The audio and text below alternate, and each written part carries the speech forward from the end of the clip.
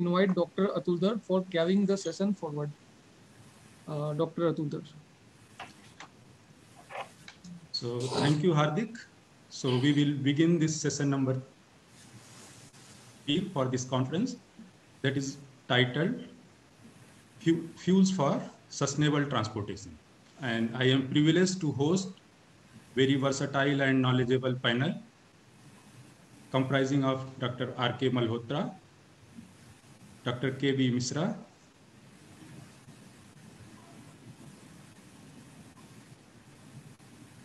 Dr. Professor Yogesh C. Sharma, Professor Ramesh Agarwal, and Professor Nirendra Mustafi.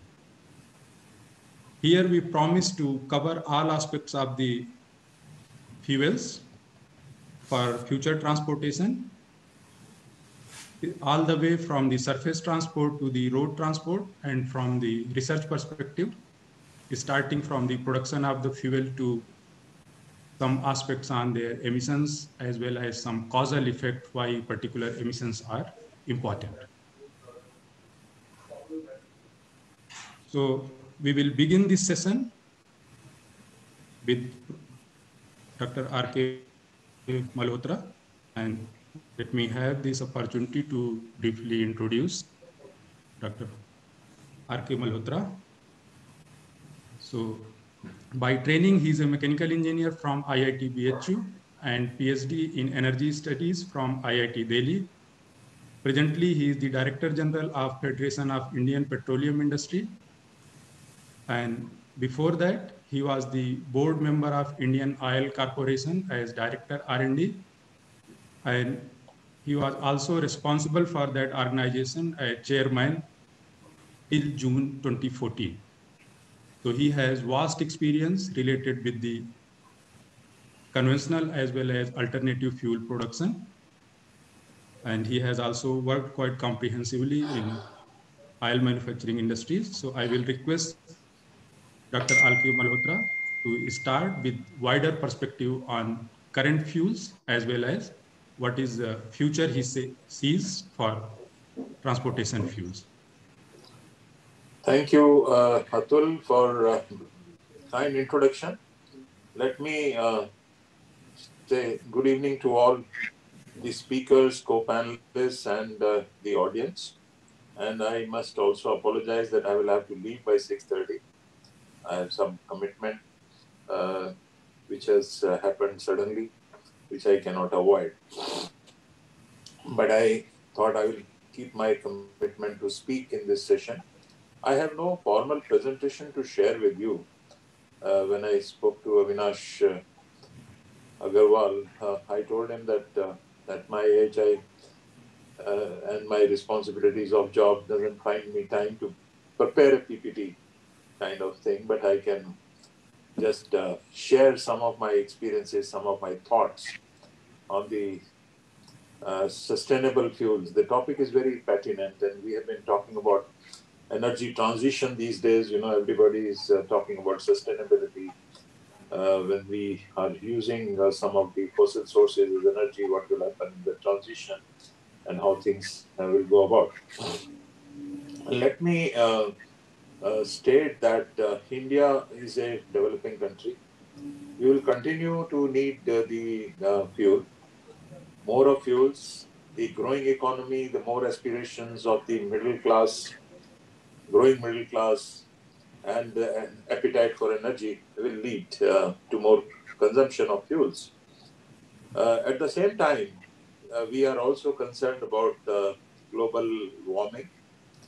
Uh, the global temperatures have been rising, and now people are talking about two degrees, uh, you know, control, and now 1.5 degrees is being talked about if we have to take care of the climate. So this is a great challenge for companies in our federation, like oil and gas companies, that they have to work towards sustainability while at the same time catering to the energy needs uh, of the society. So this uh, pandemic, which is uh, ongoing, has changed the way we operate, we work, uh, we conduct seminars, conferences, uh, as you see.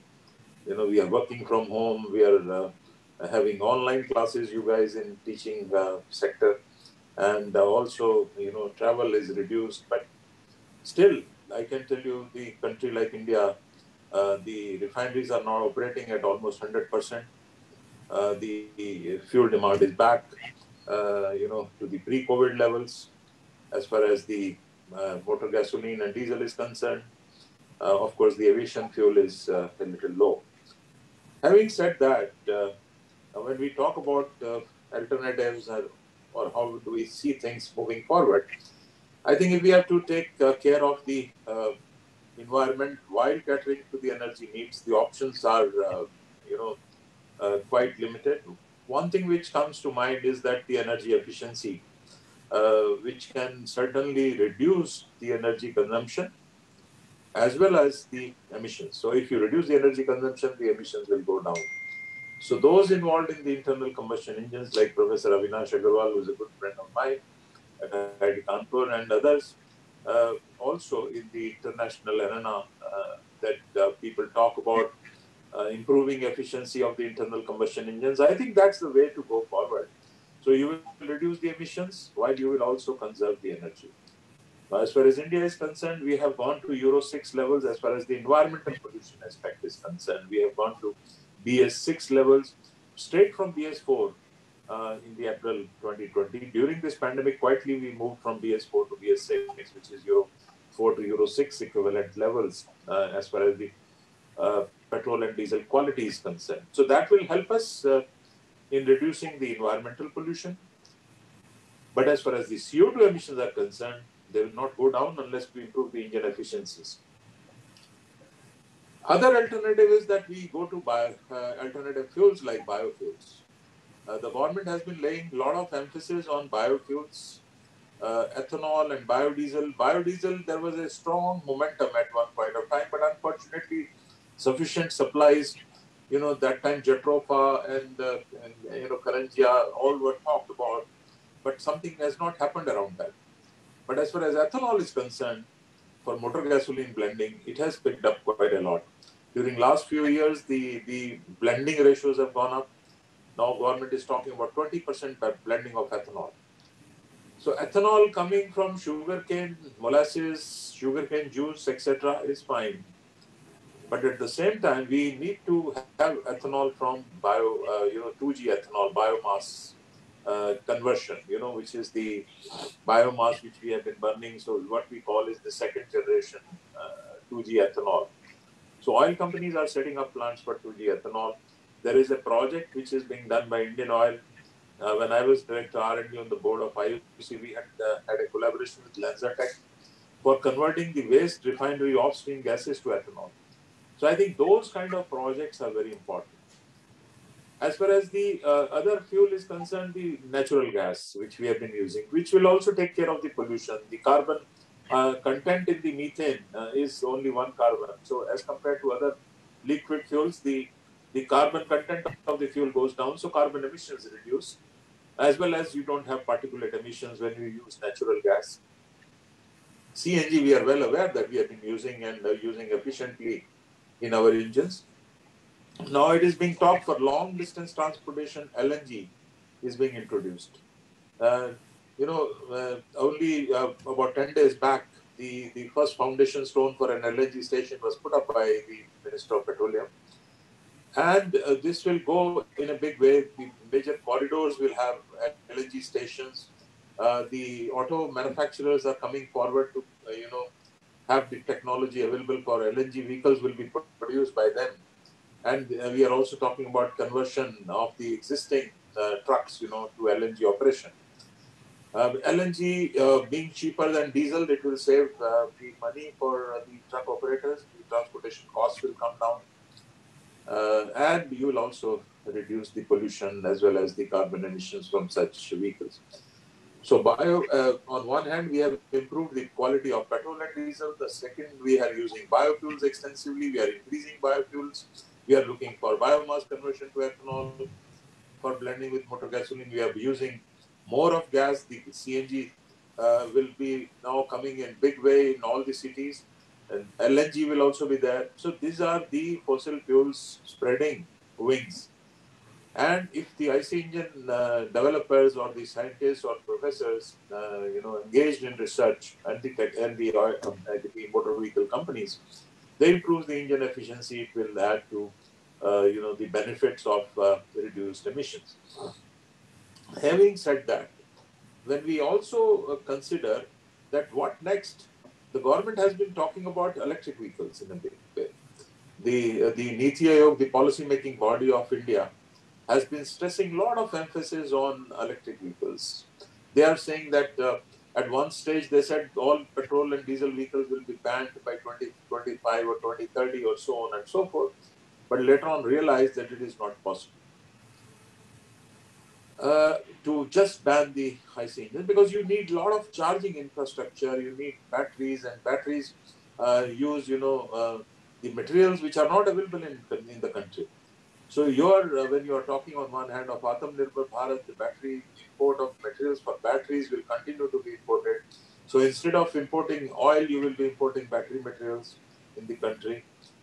And then uh, another issue which comes uh, to mind and which I have been talking to some of the uh, academicians also uh, is that uh, uh, whether the electric vehicles will solve the problem of carbon emissions which is the major problem. India is a signatory for INDC target in Paris. We have signed that. Our Prime Minister has signed the INDC uh, commitment at Paris, COP21, that we will reduce the uh, carbon emissions, cut down on that. But if we use to continue to use, which we will, uh, to use the electricity from coal, and if you use the coal-based electricity to run your electric vehicles, in a way you will be emitting more of carbon emissions than the petrol and diesel. So is that the way we should go forward? Renewables will grow, but renewables will not grow to that extent that it will stop the you know the coal-based power generation in this country. We are we are surplus in coal. Uh, we have to look for technologies which can uh, you know whether we can convert coal liquefaction, coal to liquid fuels, cleaner fuels, or coal gasification route to produce fuels like hydrogen, which can be used in IC engines or which can be used as a blending component for the natural gas or which can also be used in fuel cells? Should we not do that? And if we produce hydrogen from, from coal and you fix that carbon through the CCUS route, or you can convert that carbon to chemicals, you can reduce your import dependence and you can have a step towards Atmanirbhar Bharat also, which the, the government intends. Other way is that biomass gasification. The hydrogen today can be most economically produced through biomass gasification. We have a lot of biomass. You see a lot of pollution in the northern cities, particularly in Delhi during winter. When the biomass is burnt, you, you get all the, you know the smoke here and the, the, the pollution in Delhi is, is attributed to the burning of uh, of the biomass in the Punjab and Haryana. Now, if all that can be collected, briquetted, and you gasify it and convert it into, uh, you know, either you can use it as a uh, bio CNG or bio, you know, bio compressed gas. We have started talking about BCG. You know, you can convert waste also. So waste disposal is a big problem. Burning of uh, biomass is a big problem in an agricultural dominant country like ours. So can we, uh, you know, convert that into methane easily? And then that methane can be compressed and blended with natural gas to reduce the import of natural gas in this country. So these are some of the issues which will lead us uh, to several, you know, alternative fuels which will be used in future. Biofuels, ethanol, biodiesel. If you can produce it from algae, you can develop technologies from ethanol from waste gases, Uh, uh, from biomass, then uh, then you are talking we are talking about hydrogen being produced from coal or also from biomass. Uh, you can always produce it from natural gas. That's the most efficient way. We do it in large quantities in our refineries. I don't know.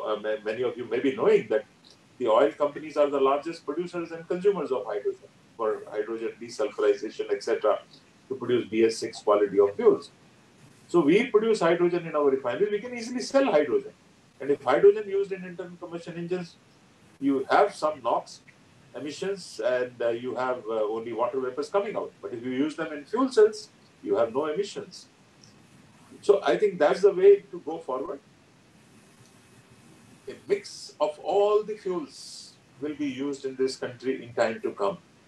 You will not only use petrol and diesel for transportation purposes, you will use biofuels produced from sugar, you will produce biofuel from biomass, you will use hydrogen, you will use natural gas, you will use uh, CNG, LNG, and biocompressed gas, and so on and so forth.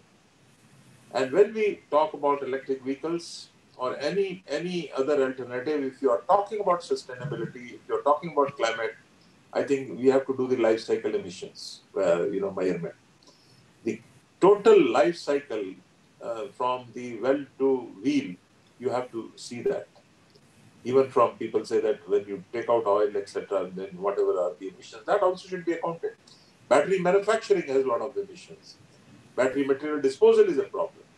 So whether electric vehicles is a solution for meeting sustainability for transport, I have my doubts. So this is uh, for the academicians like you who have gathered here in this panel. This topic should be deliberated. I have requested a lot of academicians, including Professor Avinash Agarwal, that there should be a systematic study of the life cycle emissions, uh, energy life cycle energy balance, as well as the life cycle emissions for various kind of fuels which will be used in transportation to come to a conclusion that what's the best route for this country which is the way we should go about. If we can produce uh, hydrogen from natural gas and we can fix that carbon or convert that carbon to chemicals, what's the problem? We should do that. We should continue to use fossil fuels. Ultimate aim is to reduce the carbon emissions, to become a carbon zero carbon, you know, society, which will take care of the of the atmosphere and which will also take care of the of the climate in time to come. I think with these few words, I think the time allocated to me is over.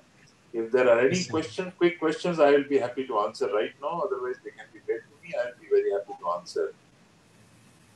Thank you so much for giving this opportunity to share some of my thoughts. Uh, of course, I have not made a presentation, but I have shared whatever I would say. Thanks.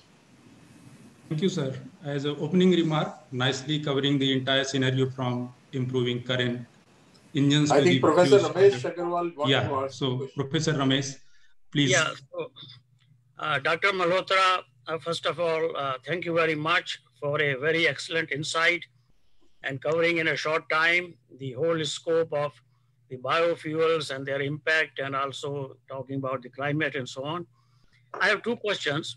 Uh, yes. The one of them you talked about the electric vehicles, and you so the main difference in using the electric vehicle is certainly, you know, you are going to, you know, have more uh, emissions overall, if you consider that. But the the transportation, the, the, the fuel is a moving fuel. So what happens is that the emissions, you cannot really control at a central point. Now, in case of, say, you have a power plant, so you have a emission controlled at the central point. So you can capture it and then you can maybe make chemicals out of this. And also you can probably sequester it underground, whatever the technology that may be. So that is the rationale behind electric vehicle that you can prevent the moving fuel, the moving uh, CO2 uh, instead of, you know, having a concentrated CO2. And the second question I have is related to the hydrogen. So the hydrogen, if you use the steam forming, it turns out that it generates a large amount of CO2. And then again, you will have to consider, you know, how to sequester it. So I think that the other alternative is to use electrolysis. And the electrolysis, you know, you can uh, achieve is a very expensive process. You have to have power for electrolysis. And one of the suggestions that is coming along is that if you use these very small nuclear reactors, which are emission free, then that can be used for electrolysis of uh, and to obtain hydrogen from water, and then that can be used as a hydrogen. So hydrogen using steam forming, I think, is uh, going to generate a very large amount of CO2. Thank you very much for uh, listening to my questions. No, you you have uh, nailed it correctly. In the thermal power plants, where we produce electricity, you know, the precipitators, etc., to control all kind of pollution are available. But CO2 is definitely when you generate steam in the boilers in thermal power plants, the CO2 is getting emitted. Capturing, if we start capturing that CO2 over there, I think it's perfect. There's no problem, and then use that electricity in your vehicles. That also is not a problem. But it is not easy. It is much easy is in the natural gas reforming. When you have CO2, you are right that when you reform natural gas, there is a CO2 emission. Controlling that CO2 is much more easier than in a thermal plant of that size. You know, you can have reformers, and you know, you will be. Uh, uh, let me tell you that uh, the uh, Mr. Mukesh Ambani, who runs the largest refinery in India, he has gone on record to say that his refinery will become a zero carbon refinery by 2035. You know, how is he going to do it? By 2050, people are talking in Europe. He says by 2035, they have the technologies, the technologies are being developed. Whatever carbon during that refining processes or reforming, they produce a lot of hydrogen. They, they have pet, pet, gasification units also. So whatever CO2 is emitted, that will be converted into useful chemicals. When we had started talking about circular economy, so those are the things which are much easier. If we can, someone can do it in a thermal power plant, you have uh, nailed it correctly. But I personally feel that it's much more easy to control CO2 in natural gas reforming than in the coal. For coal, we have taken up the projects in this country to convert coal into methanol. You know, there's a uh, the, the Niti Aayog has been laying emphasis uh, to convert coal to methanol uh, uh, coal gasification, and you can always convert it into uh, after coal gasification, you can convert it to methanol, or you can that same gas you can easily uh, control to methanol or to hydrogen, and then you can capture CO2 also. I think it is much more easier in coal gasification route to control CO2 rather than in the thermal plant. So, having said that, uh, there could be technologies developed in future to control uh, or capture CO2 in thermal power plants. I don't know. But right now, countries like China are doing big, you know, coal gasification for to produce hydrogen and capturing CO2 adds to the cost. So uh, right now, we are talking about brown hydrogen uh, because when you use hydrogen more efficiently in fuel cells, you have better efficiency. You re, you reduce the energy consumption in a way because of the higher efficiency of fuel cells. Now coming on to hydrogen, you, you are right that you can do electrolysis. Electrolysis is a good route for for renewable energy. Yes. When you have renewable energy, a lot of solar energy, hydrogen becomes an energy storage system also. Because you, uh, otherwise you need large batteries to store wind power or solar power. So that renewable power can always be stored So uh, electrolyzer efficiencies are improving day by day. In future, people are talking of high efficient uh, solid uh, oxide electrolysis cells, SOEC or SOFC reversible. So you can, uh, you know, uh, produce uh, uh hydrogen through the SOEC and then use that in SOFC to produce back power. So those technologies have been developed in India also, SOEC and SO. There is a company in India in Pune which is uh, which is doing that. So I think uh, the things are moving, and let's hope that the cleaner transport will be there, and hydrogen fuel cells uh, will also be equally clean to electric vehicles, no pollution on the streets. But BS6 also is reasonably, you know, if you have all fleet converted to BS6 or running on natural gas, you have quite clean, you know, the, the contribution of automobiles to the overall air pollution is hardly anything in India. You know, it is a misconception that all pollution is being caused by vehicles only roads. So I think uh, that's why the the quantification of pollutant, the, the you know, uh, which source apportionment studies and those kind of things should be done by the academicians. Uh, life cycle emissions, source apportionment studies, that which is the major source of pollution. IIT Kanpur, uh, there is a professor, Mukesh Sharma, I think, who has been doing a lot of work on that source apportionment. And he had concluded that automobiles contribute about 20-25% of pollution in the cities. And that uh, report was based when the even BS4 vehicles were not there. Now we have gone to BS6, which is a significant reduction, you know, uh, in emissions. So uh, we need to modernize our fleets. We need to move to CNG or LNG, and uh, you know, HCNG also has been introduced in Delhi. We have done some work in IOC, which is now being implemented. So I think uh, these are the ways to. Sir, as I said, it will be mix concluding all- question. mix of everything, huh? Okay. So we want to listen your views on future of hydrocarbon economy. So this is the, so you can conclude your view on future of hydrocarbon economy. Hydrocarbon economy और hydrogen economy Hydrocarbon, hydrocarbon तो है ना यार hydrocarbon तो सारे fuels हैं how it will phase out.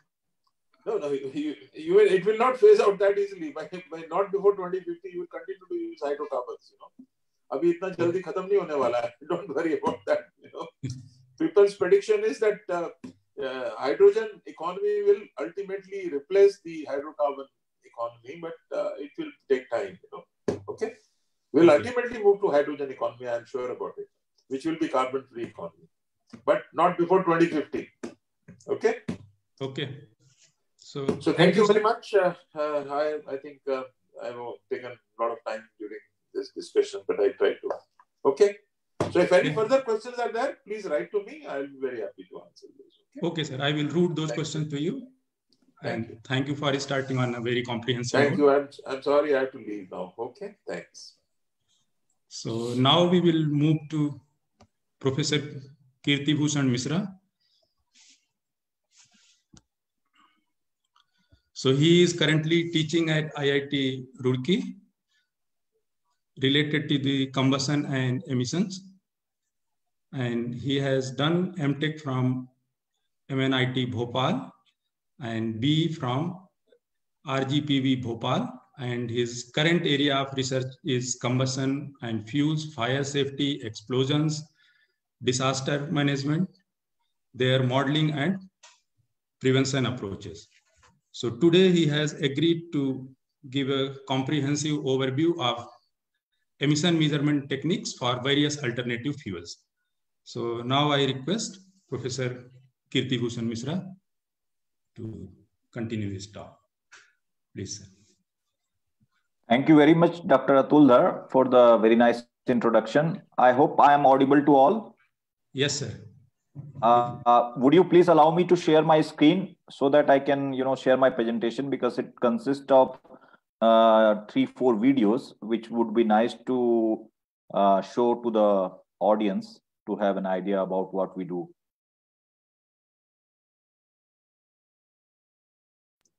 Uh, sir, you can say, start sharing, sir. We have enabled that.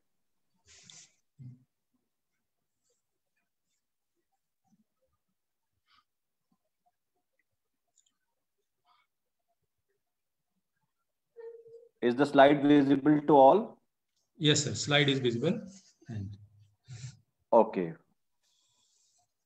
All right. So I will directly come to the point and uh, will be putting everything into perspective with the title of my talk. It's on measuring emission by alternative fuel blends of biodiesel, methanol, ethanol, and DTBP in laboratory scale diesel engines.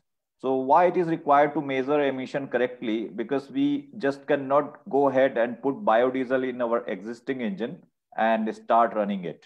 So we have to look carefully what kind of performance they are delivering and are they meeting the emission norms which we just talked about before my presentation. So uh, all these things are generally done for the small scale laboratory engine in the in the institute and from there we scale it up to heavy duty engines once we have you know number of good quality data sets then we can say something precisely that yes this fuel blend is uh, good for the existing engines and we can use it as per our uh, expectations by the standards. Whether it's an indian standard or international standard it has to be uh, first of all measured and approved by the standard laboratories.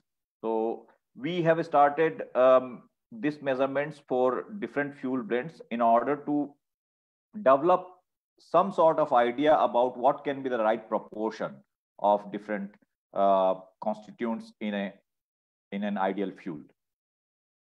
So why we do this? We have learned from the report from National Green Tribunal that uh, the major cause of pollution in New Delhi comes from the transport sector.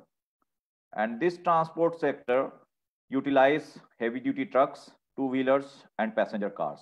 Out of these three, trucks emit about 24%, two wheelers about 18%, followed by passenger cars, which emit about 15%. Major constituent of pollution, we generally know them from our existing knowledge that they are particulate matter of the size 2.5 micrometer, which easily go inside our lungs when we breathe. SO2, sulfur dioxide, and NOx, NONO2. So out of this, the NOx 53% and PM 2.17%, these two cause a lot of troubles. And they are required to be measured in the laboratory for different fuel blends so that we can avoid this major part of pollution which generally come from the transport sector. On one side, we have to reduce pollution and another side, we have to also look for the environmental aspect. So meeting both the things will require a discovery of new uh, or alternative fuel. You can go and use your plants to produce biodiesel, which is renewable, and use it in the existing engine without any major design modification. So what happens when we uh, produce biodiesel from the plant and take it to the refilling station, fill it in the car, it starts giving trouble in terms of engine efficiency and the pollution. Okay. So we have this uh, speculations that uh, the green fuels will produce less emission and will maintain the desired output. So which is uh, not generally true. Many people have conducted experiments, researched on different different kinds of engines, and they found that there still requires some modification in the fuel so that it can be replaced uh, in the in the existing engines. So there are literature which suggests that we can go ahead and use some uh, alcohol-based fuels like methanol, ethanol in different proportion in biodiesel and reduce the carbon monoxide, unburnt hydrocarbon, and NOx to some percentage.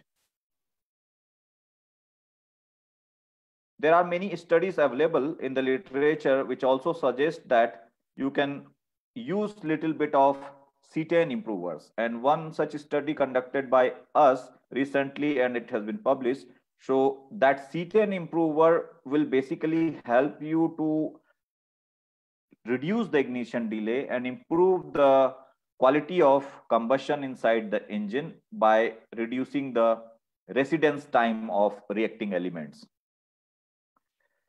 So our objective is uh, quite simple that we want to find out the right proportion of uh, fuel to maintain the same output and cut down the emission without changing any engine design.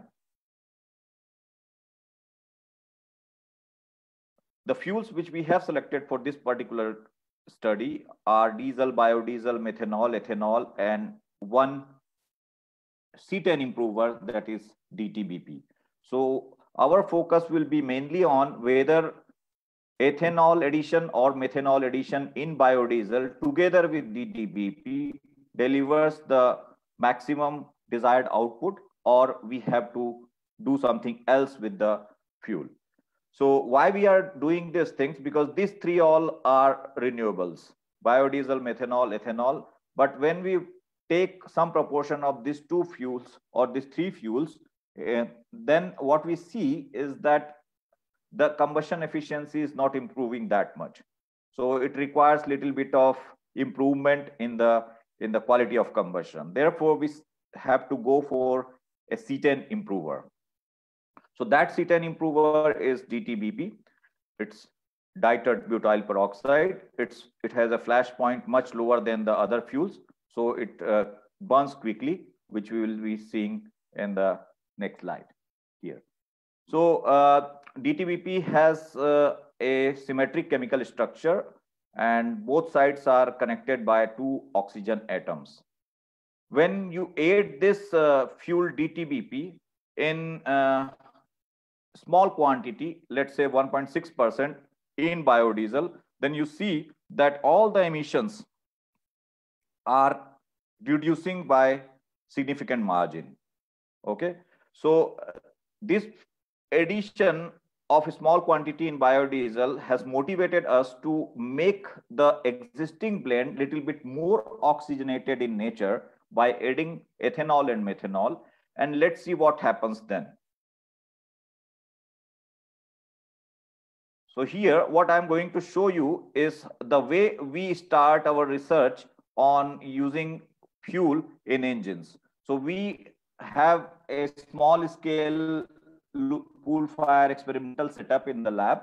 So we burn the different fuels in different diameter pans in the laboratory and we see how the their diffusion flames look like.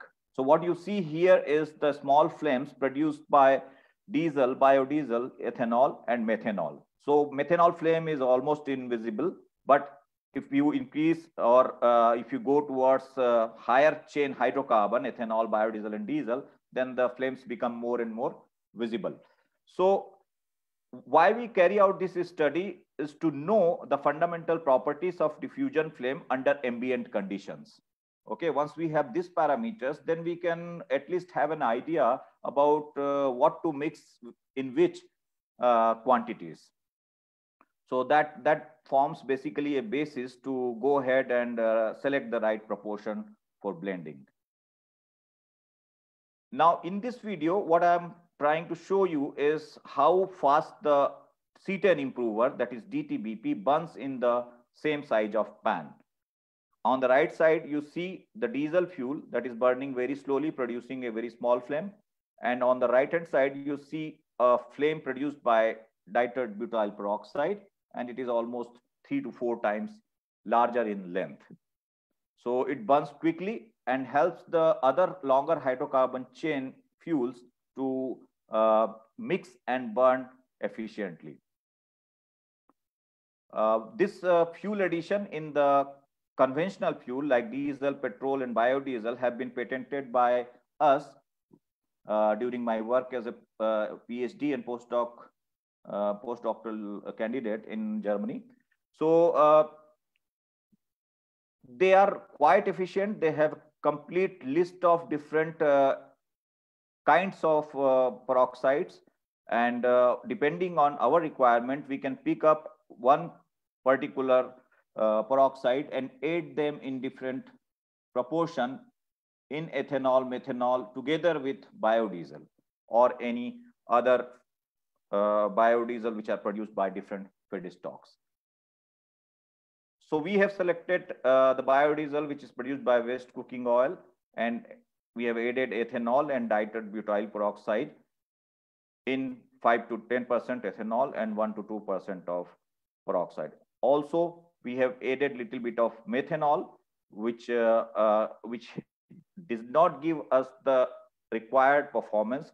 But yes, we have the data set to say that addition of methanol can also make sense, but ethanol addition is much more efficient than the methanol one.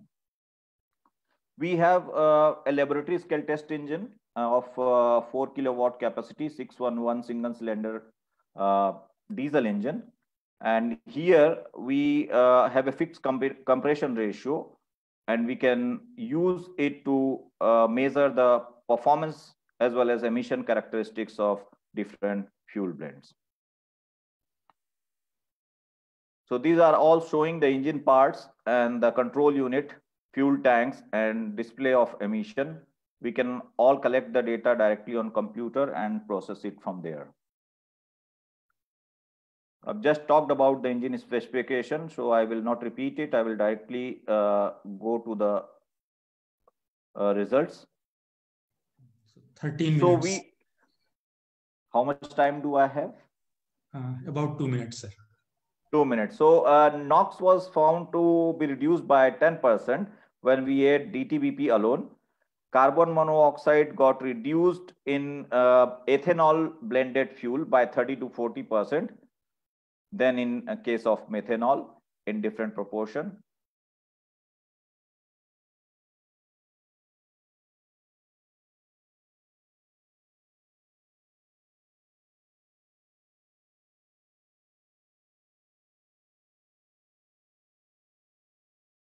Is my slide visible, Dr. Atul? No, content is not visible, sir. Yeah, I think there are some issues. Slides are visible, but content we can't see. Can you just uh, share the PDF from your side? Because I, I think uh, here also I, I'm having some issue. Can you just share the PDF from there? Okay, so then please yeah, stop Yeah. sharing. Yeah, that- I'm stopping it here. Yeah. Yeah.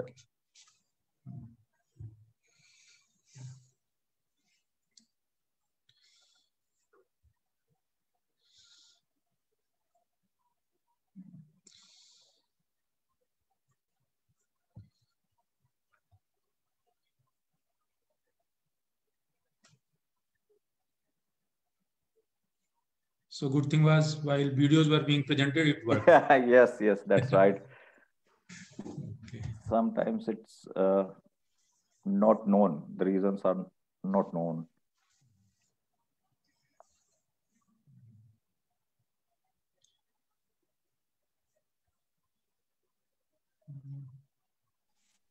But sir, it's a very good insight into the work, sir. Uh, yes, we uh, did this work in the last year. yeah. Absolutely, absolutely. and uh, we found out that uh, this kind of studies are required because biodiesel alone is not that efficient it uh, uh, as it appears to be Absolutely, absolutely.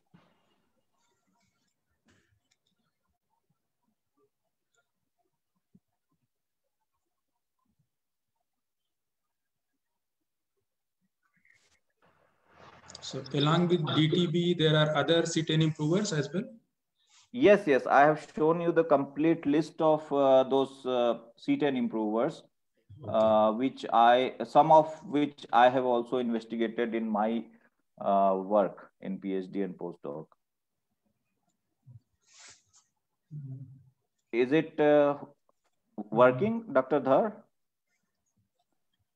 So Akhilendra is uh, trying to share or or I I will try to share the screen from here, uh, the PDF one.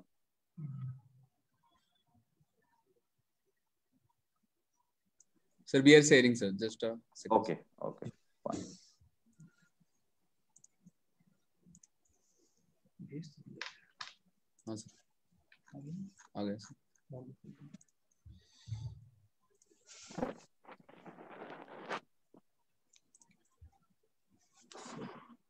Just one second,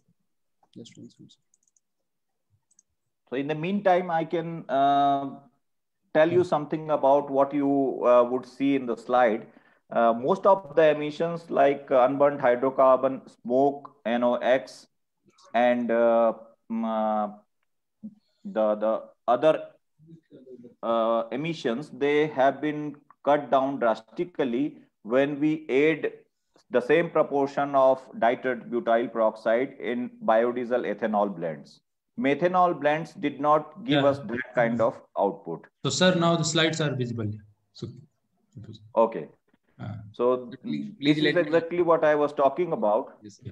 So uh, adding DTBP in ethanol biodiesel blends made us uh, little bit more uh, uh, convinced that uh, we are getting significant reduction in the emission.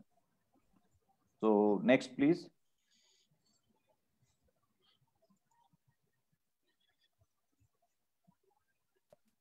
Dr. Dhar, can you scroll the slides? Can you go to the next one? yeah. So this is about hydrocarbons. Yeah. Yeah, this is also I have talked, so you can directly go to the conclusion part.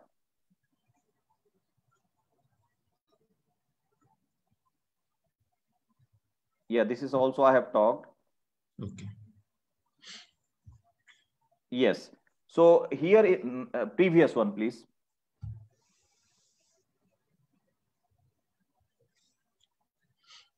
Yes, uh, in this table, you can uh, see the summary of the results that we have collected from out of our test.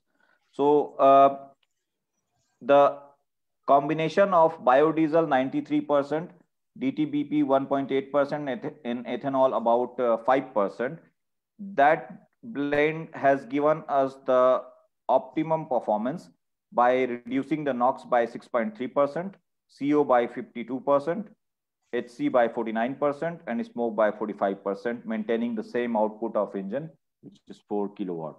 At the same time, methanol blend gave us the more or less same reduction in NOx, but the other uh, reduction were not comparable to what the ethanol blend gave.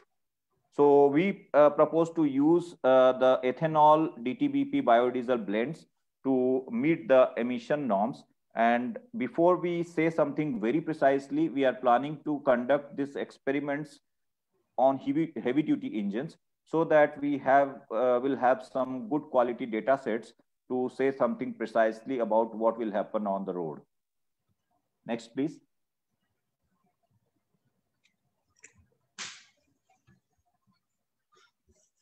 So what I have shown you is that uh, the ethanol, DTBP and biodiesel blends are uh, most preferred ones.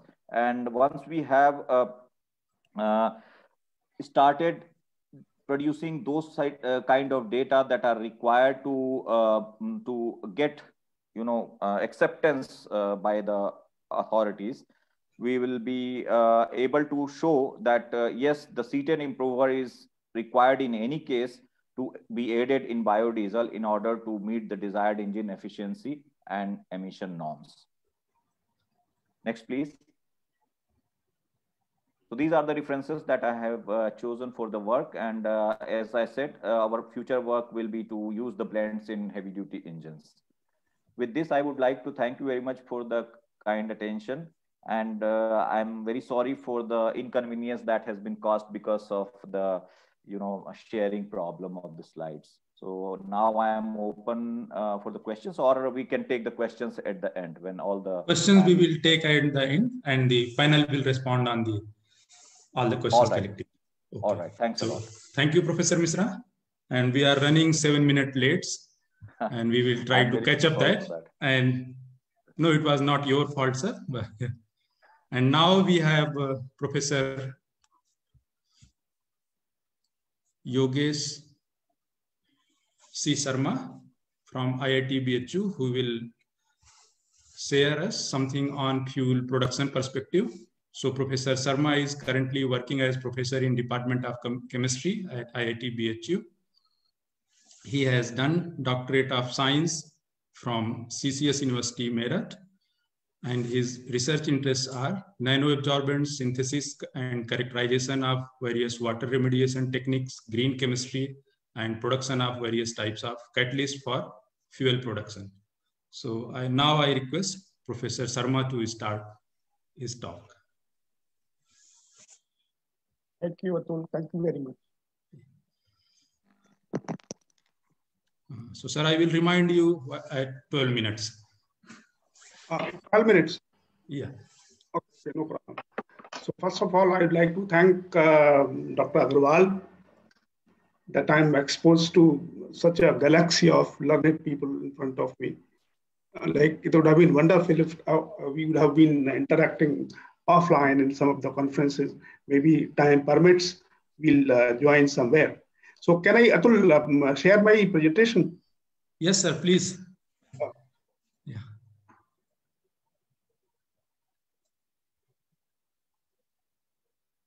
Uh, can you see this? Yeah. So please make it full screen. Yeah, yeah.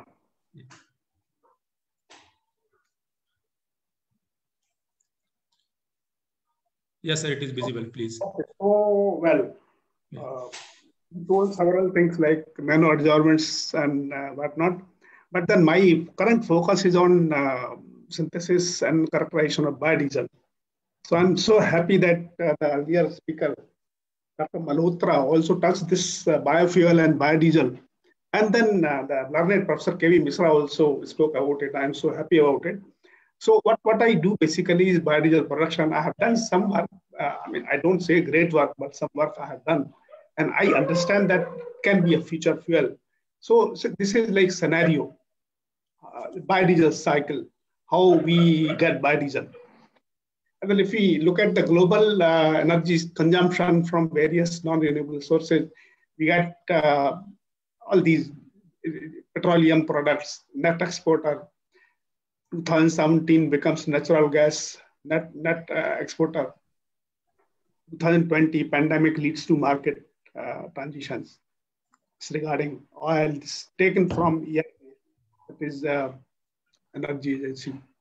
International energy consumption energy scenario by 2050 it reflects that uh, by 2050 we would require much more amount of energy. These are uh, projections. History we uh, required less amount of energy, but with time, it, development energy is needed for uh, practically for all applications. If you look at the present scenario, it is uh, India is third largest consumer of oil in the world behind US and China, third largest importer of crude oil.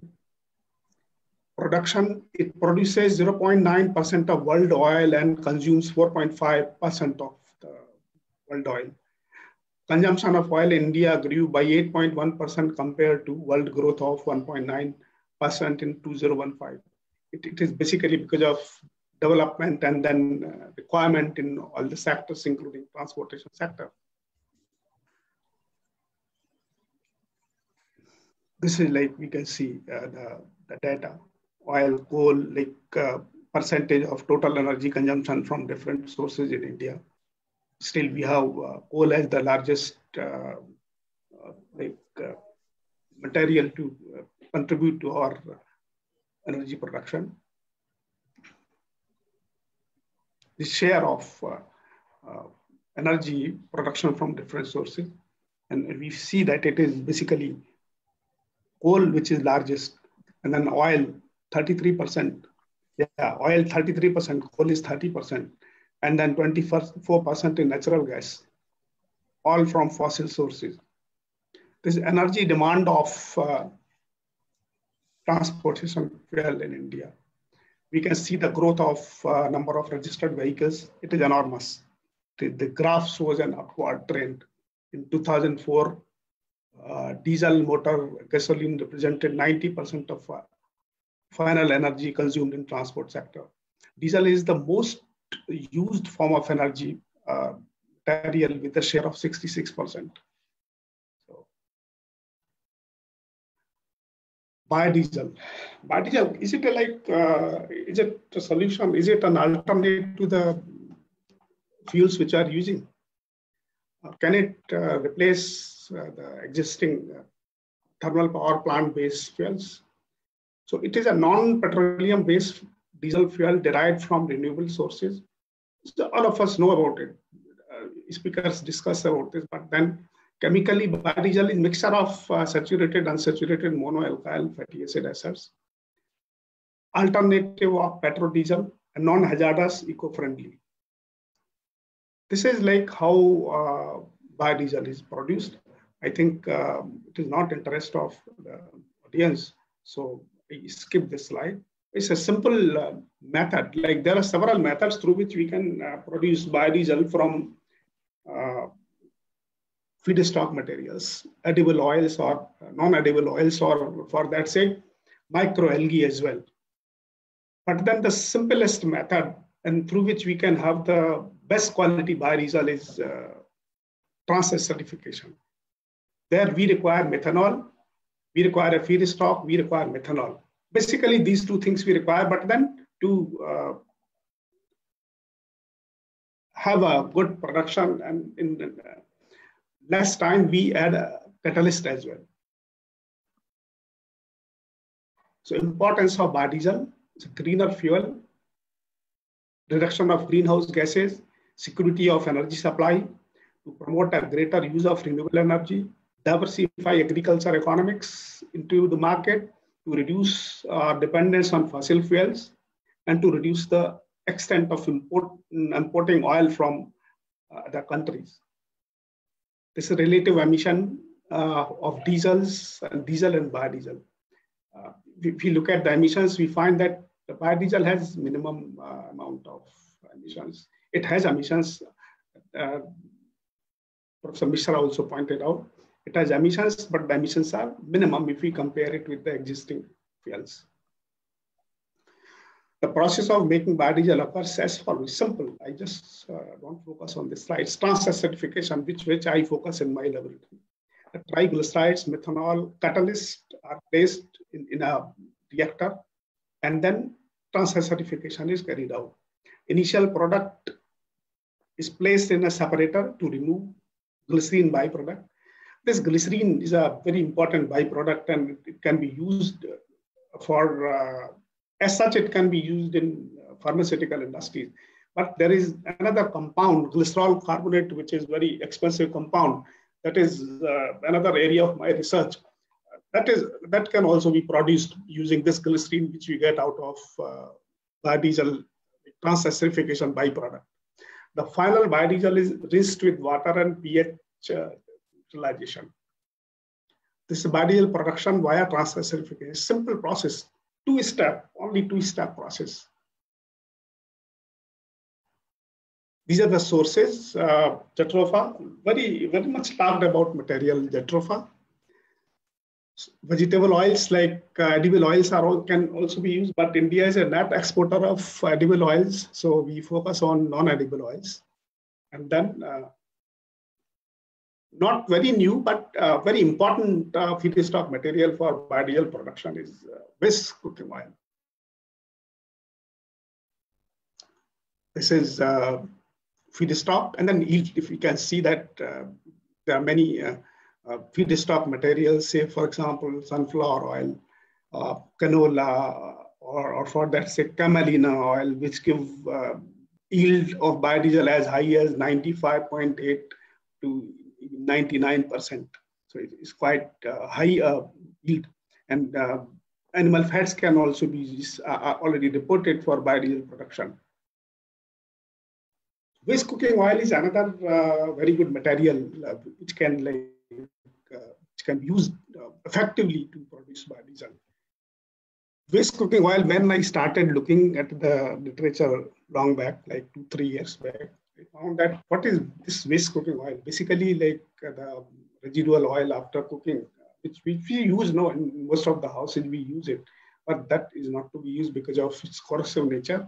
It uh, contains uh, acids, and acids are always corrosive. So uh, it's very important and uh, like uh, available in large quantity material if we look at edible oils, not very available in our country. We are short of edible oils. Even non-edible oils, like uh, they work as uh, materials for uh, in drug industries. They have very good uh, characteristics, uh, medicinal characteristics. So their supply is also not uh, very large. So waste cooking oil has been used. Population is increasing. Consumption of oil is increasing. That is, edible oil is increasing. And then uh, we can certainly go for uh, whisk cooking oil as one of the important feedstock material for biodiesel production. This is world biodiesel production. We can see that Indonesia, such a small country, followed by United States, Brazil, Germany, Argentina, France, Spain, all, all these entire uh, list of countries is uh, focusing on biodiesel because of uh, its cheaper fuel cheaper because uh, if you got uh, feedstock material at a small price, lesser price, than uh, total production cost of biodiesel is not very high. Biodiesel consumption, see consumption, United States largest consumer of biodiesel, Indonesia, Brazil, Thailand, and then we are also somewhere at number 13, we are there. We, we use very small amount of biodiesel. And then if you look at the biodiesel policy of government of India. And we were supposed to have like 20% of uh, blending of biodiesel with diesel. But then uh, Professor Malhotra pointed out very correctly that uh, supply is not there. That is, manufacture is not there. Also, it is not cost effective in our country. And then uh, I think all of us know that uh, only Rajdhani expresses are uh, running on B20. It is because we don't have enough uh, quantity of biodiesel to uh, blend the entire uh, diesel which is being used in transportation sector. Sir, 12 minutes. Biodiesel consumption and production over the years. No, this slide shows we are increasing uh, production of biodiesel. It's a very good trend. And then application of biodiesel. See, this is latest, like I would like to quote it, I quote it in my presentations, that 27th August 2018, the SpiceJet flight, it was partially powered by the Jatropha plant seed oil, biodiesel from Dehradun to Delhi. And then Karnataka STC buses are using biodiesel under an experiment by Bangalore Agriculture University. So it is like in, it's coming in practice. If its production is uh, sufficient, uh, it's a future fuel. Problems, there are several problems, you know, but these problems can be set right. Ability to produce and store biodiesel on a large scale, few engines which can run on B100. Biodiesel is not much suitable for extremely cold regions because of cold properties. It is a comparatively new fuel. There is a lack of uh, the lack of lot of work now and funding as well um, from government side. Technological challenges are expensive feedstocks and inefficient production methods. Strict standards uh, for product quality, NOx emissions, transportation and storage concerns are there. These things are done, then uh, biodiesel could be a better fuel. Biodiesel should be stored at uh, 5 to 10 degrees uh, above cloud point. Above ground, fuel systems should be protected with insulation, agitation, heating systems, or other measures. This is economics now. There is ample room for improvement in efficiency of processing biodiesel. Development of a continuous transesterification. It is available, but uh, it, it, has to like it has to be further tested and uh, put for large scale biodiesel production and recovery of high quality glycerol. That is another uh, like boosting the economy of biodiesel because from glycerol we go for production of uh, uh, glycerol carbonate. So my dear uh, learned friends, this is what I wanted to convey. But then, uh, like it is not biodiesel only. Like it is not biodiesel only, uh, which can which can serve the purpose. It, it can be it can be hybrid of the hybrid of the fuels. It could be clubbed with CNG. It could be clubbed with ethanol, PNG. It could be clubbed with the existing uh, system which we are already using. So, So, this thank is you, what Professor Sharma. So that bigger perspective, we will continue discussing in, sure. in our question and answer session. Sure. Thank you, sir. So now we can move on to aviation fuels by Professor Ramesh Agarwal. So he is currently professor at Washington University after finishing his PhD way back in 1975 from Stanford University. And his areas of interest includes ground effect aerodynamics, flow control, rarefied gas dynamics and hypersonic flows, biofluid dynamics, wind energy, energy efficiency of buildings, chemical looping combustion, and geological carbon sequestration. So I will request Professor Agarwal, Agarwal to start his talk related with aviation fuels. Sir.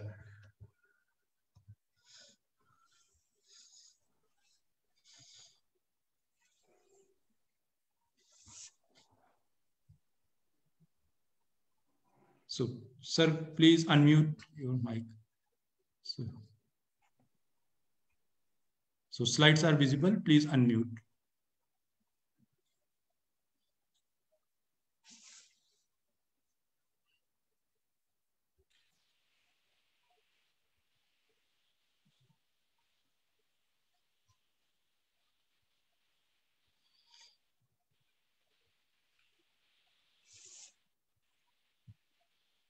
Okay, can you see the slides?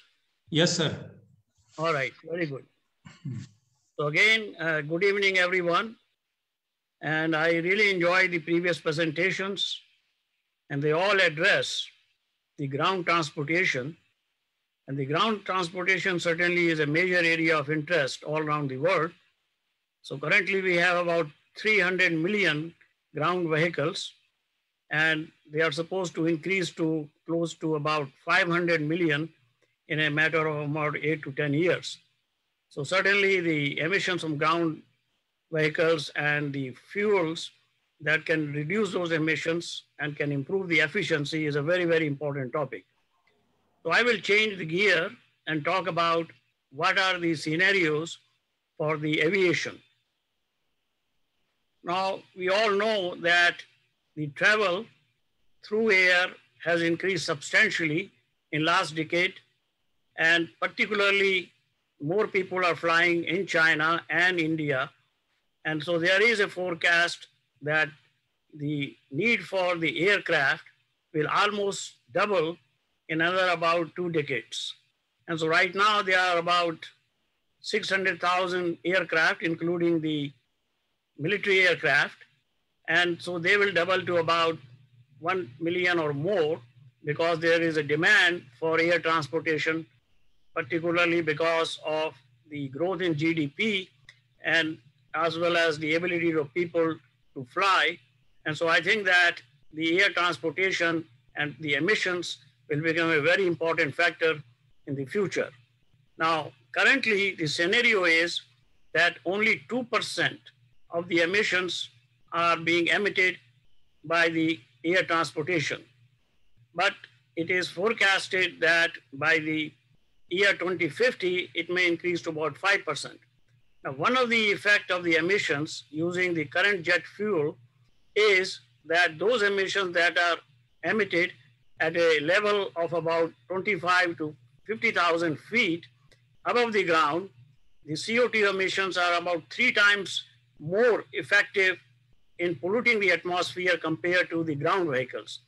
So if you have a emission, say 2% emissions at a level of about 30,000 feet, it is equivalent to about 6% of the emissions which are emitted by the ground vehicles because of the effect of a higher level of atmospheric emissions and the way the CO2 interacts at a high altitude.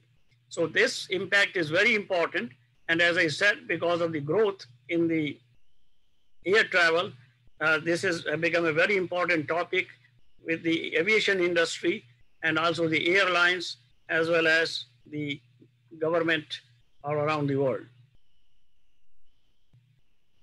So several years ago, NASA and ACARE in Europe, they put together a list of items that can help in the energy optimization of the air vehicles and also the reduction in greenhouse emissions and the reduction in noise.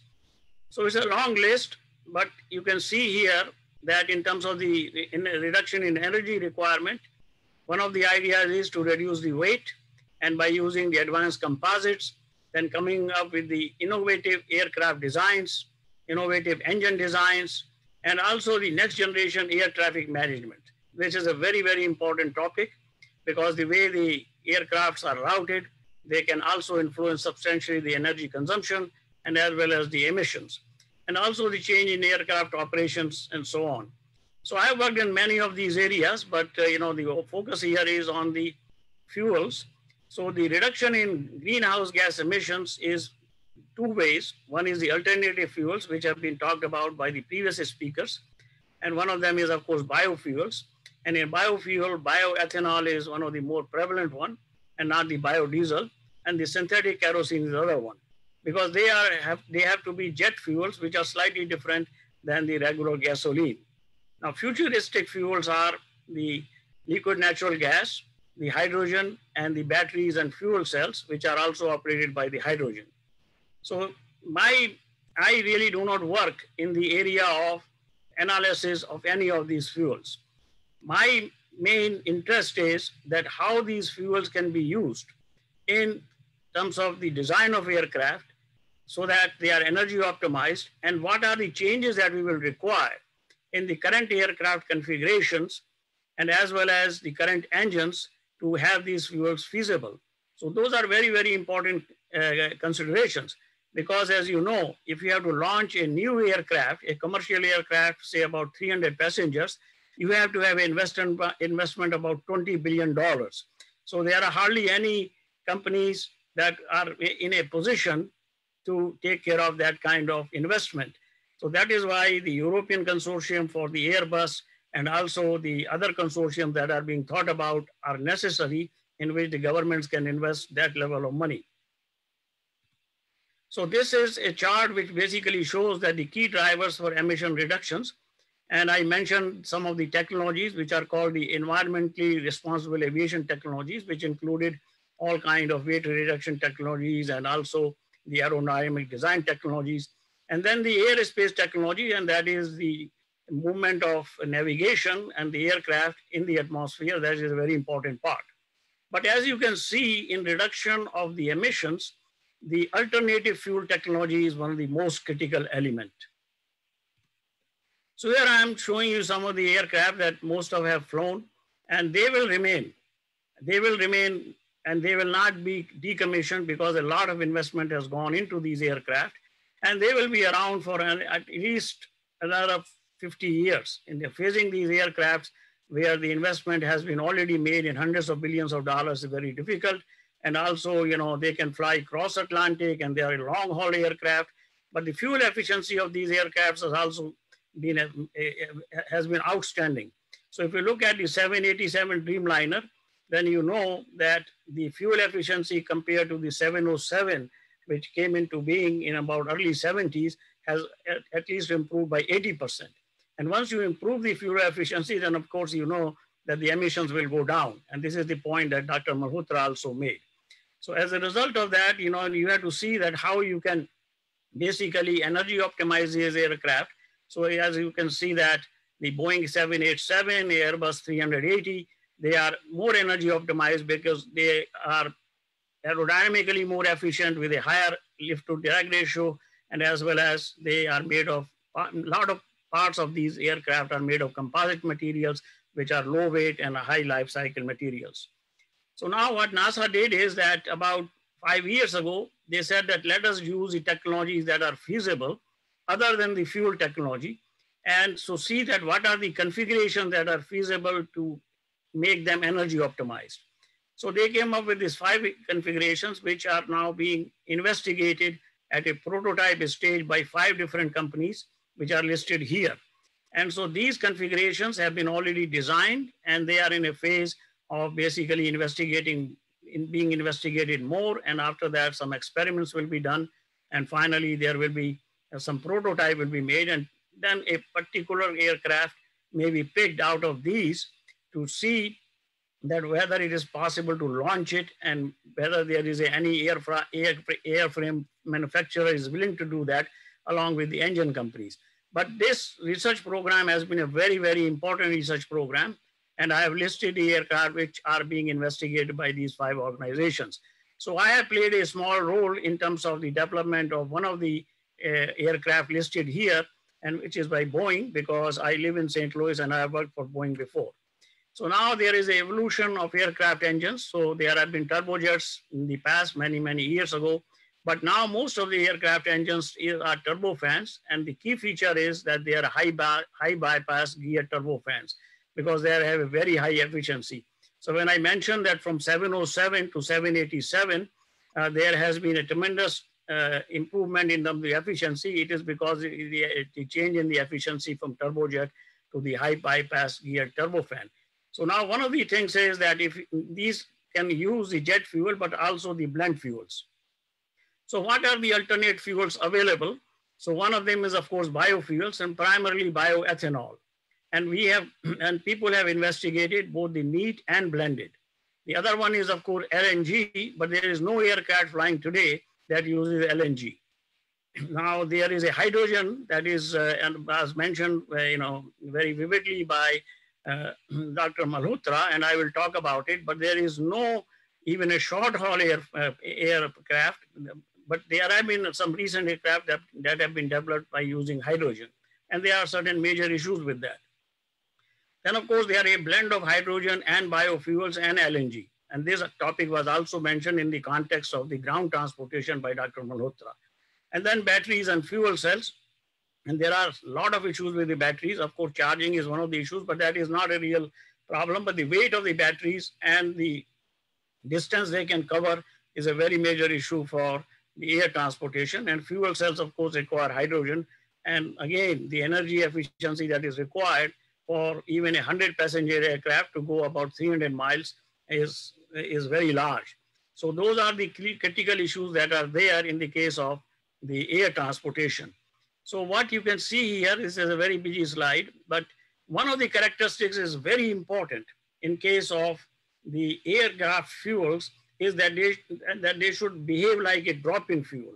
Drop-in fuel means that the current fuel jet, which are jet fuels, they should have all the properties of a drop-in fuel. So that is the terminology that is being used. Now, many first generation biofuels that were uh, uh, created and they were tried in some aircraft and but they were they have uh, performed poorly but now a next generation of biofuels i think they seem to have shown tremendous potential. So the bio-derived synthetic paraffin like kerosene bio-spk is considered to be the most promising drop-in fuel today in the foreseeable future to reduce co2 emissions and they have been tried. And they can also reduce the radiative forcing. Now i saw a slide by dr yogesh and that mentioned but there was a flight by Spice Jet that used a biofuel, uh, I think from Dehradun to Delhi, if I am correct. Now, this is a key biofuel, and that is again based on a variety of uh, ethanols. And so what you see here is that there are these properties are very important uh, for the aircraft since they fly at a very high altitude and you don't want your fuel to, uh, fuel to freeze. So one of the properties freezing point. So what is the freezing point of a current jet fuel? And then the thermal stability of the fuel is very important. The viscosity is not that important, but it's still very important. And you don't want contaminants. And then of course the net heat of combustion is very important because you want to really utilize that energy fast and also over a longer distance. So if you compare the next column, they show the properties of jet. And then the Air New Zealand, they've used the Jatropha Uh, uh, uh, based bioethanol and to see what kind of properties they could have. And then the Continent airline used the Jatropha and algae combination and the Japan airline used the Jatropha, algae and Camelina contributions. And there has been a very careful um, emphasis that we don't use any kind of uh, content biomass that can be used for food consumption because that is not a desirable thing to do. But in these cases, you know, Jatropha, algae, and Camelina, you know, they are all the non-food consuming uh, uh, biomass. So if you can compare that, then you can see that the freezing point, as well as the thermal stability, the viscosity, etc., they are quite comparable, and so they can be used as a drop-in fuel. So that is a very, very important property. If you cannot use them a drop-in fuel, then you will have to change the engine and then you will have to, you know, have a tremendous amount of investment. So any any time you change an engine, even an automobile, it is a one billion one billion dollar investment, and it depends on the size of the auto, automobile. And similarly, you know, if you change the engine in a in an aircraft, it could be a several billion dollars of investment. So now you can also see that what is the effect on a blend. So you can have a biofuel blended with the jet fuel and again, you can see all these properties, freezing point, thermal stability, etc. And these blends also work quite well. And so they have a similar drop-in fuel type of uh, property, but they have an advantage. If you have a blend, then you can, because the energy density in terms of the volume as well as in terms of the weight is such that you can go a larger distance if you have a blended fuel. Otherwise, we know that if you have a pure neat biofuel, then the range is uh, less because the biofuel requires a larger area to store in the aircraft and as well as it has a lower energy density and also requires a larger volume. So now there have been a lot of experimental flights using biofuels. And, you know, I again want to mention the SpiceJet flight that was mentioned for a very short distance. But it turns out that people have been going through this and they found that the biofuel, particularly the blend, has been very successful. And so they can be replaced. And some airlines like Air New Zealand and Japan Airline and, and etc., they have committed that in a matter of another 10 years, they will completely go by the route of biofuels and completely uh, and completely eliminate the use of the uh, jet fuel. But I think that in the near future, they will go primarily with the, uh, with the combination that is a blend, because I think the blend, as I said, has a better properties. And biofuel, I think if you want to use it to cross Atlantic, for example, or cross the Pacific Ocean, if you want to go to Los Angeles to Sydney, uh, you really cannot operate in biofuel. That is Qantas Airlines, which is an Australian line, they determined that you cannot cover a, you know, 14,000 miles, uh, or suppose you want to go from Chicago to New Delhi, it is not feasible with the current aircraft and current engines because the range that is available for these air, uh, for these fuels is small. So now I will uh, try to address the other refuels, and these are basically in a research state. Uh, you know, these aircrafts uh, are not have been built, and there are very major issues in doing that. And one is the LNG, and another one is the hydrogen but you know they have a lot of potential in terms of having a less emissions. LNG is going to have emissions, but much less compared to conventional jet fuel, and hydrogen is completely emission free. So you can see the energy per weight, the energy uh, per volume, which is also very important, and the storage temperature. So you can see that LNG is actually better in terms of the per weight, but is not as good as in terms of volume, but is quite comparable. But the hydrogen is much better energy per weight in terms of megajoule per kg, but per volume, you know, it is really poor. So for a hydrogen, you need a very large storage to carry a certain meaningful distance in the air transportation. Now, storage temperature is also an issue. So, you know, they have to be stored and these storage tanks have to be there on the airport so that they, they can be then refilled. The, the aircraft can be filled with these kind of fuel. So you can say this, see that the conventional jet fuel is minus 40 degrees centigrade or higher. The LNG is even much lower temperature and the hydrogen is a very, very lower temperature for the liquid hydrogen. And this is also liquid LNG, which is primarily methane. So this is, a, as I said, no aircraft has been built so far using LNG, but this is a very good concept. And so the Boeing has come up with this kind of a artist picture that and so you can see at the bottom, there is a fuel tank. And this is a very huge fuel tank um, to, for to carry a certain number of passengers. So there are various configurations that have been designed, and these are all paper studies. And to take into account that how to can accommodate for a certain range, let us say for a range of about 500 nautical miles, that will be required in terms of the storage uh, using LNG. And of course, there are other issues also, you know, that they, they have some very good properties, you know, like in terms of the freezing point, etc. You know, they are as comparable as jet fuel. So the properties are very good. The problem is that how do you design them properly? And then of course, all the safety issues are involved and what is will take. And also, as I said, that the cost involved in launching such a aircraft is very high. So what you will do is that you take existing aircraft and see how you can modify it and of course, the other factor is very important that whether the current engines, which are the gear uh, turbofans or which I mentioned to before, which have a high bypass ratio, whether they can be used effectively to get the LNG operating. But certainly the paper studies show that they will lead, lead to substantial reduction in the in terms of the uh, emissions.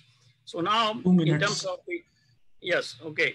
So in terms of if you look at the LNG uh, cost versus the uh, cost of the current jet fuel is substantially lower and this will keep on going down. So that is a big advantage also in terms of using the LNG. So these are some of the properties of the fuel burn of jet fuel and LNG aircraft. And because I do not have time, so I will cannot go over it, but I would suggest to you, uh, to mention to you that the LNG uh, based aircraft has a slightly lower emission than in case of the, the, uh, the uh, standard jet fuel. And these are shown by the red percentages. And of course, the engine is a very important problem.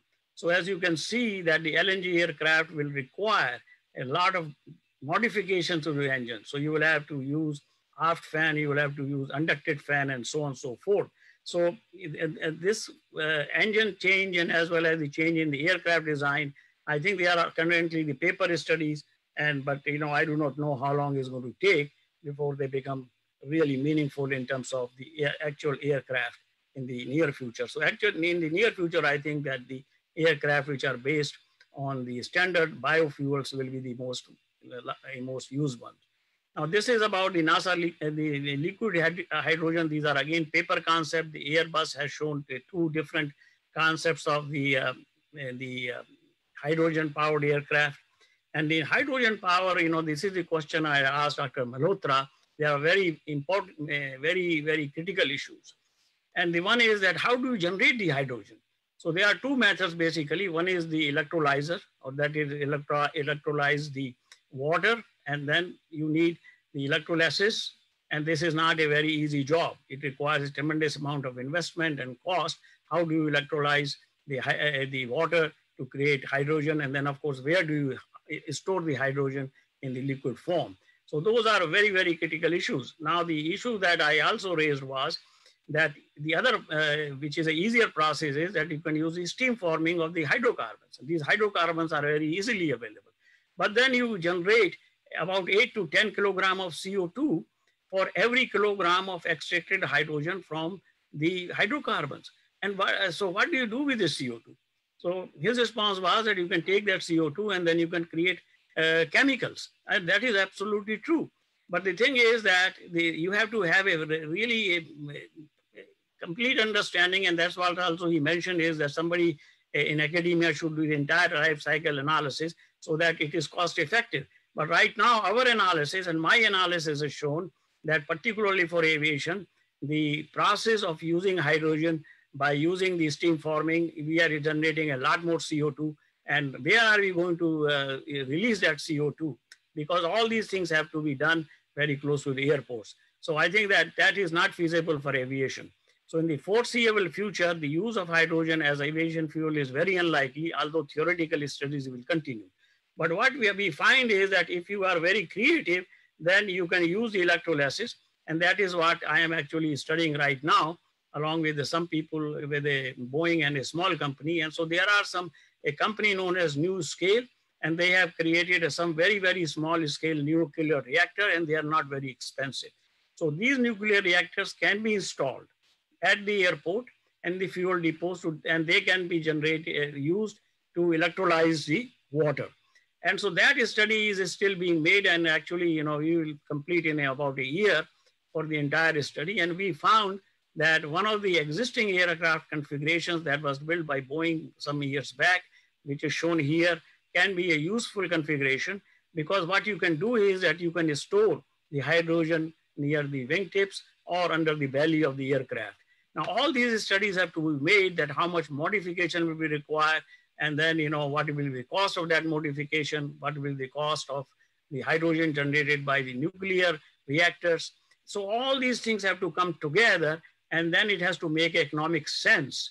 But what will happen is that if that is feasible and that has the economic sense and somebody is willing to launch it, this will be completely emission-free aircraft, zero emission.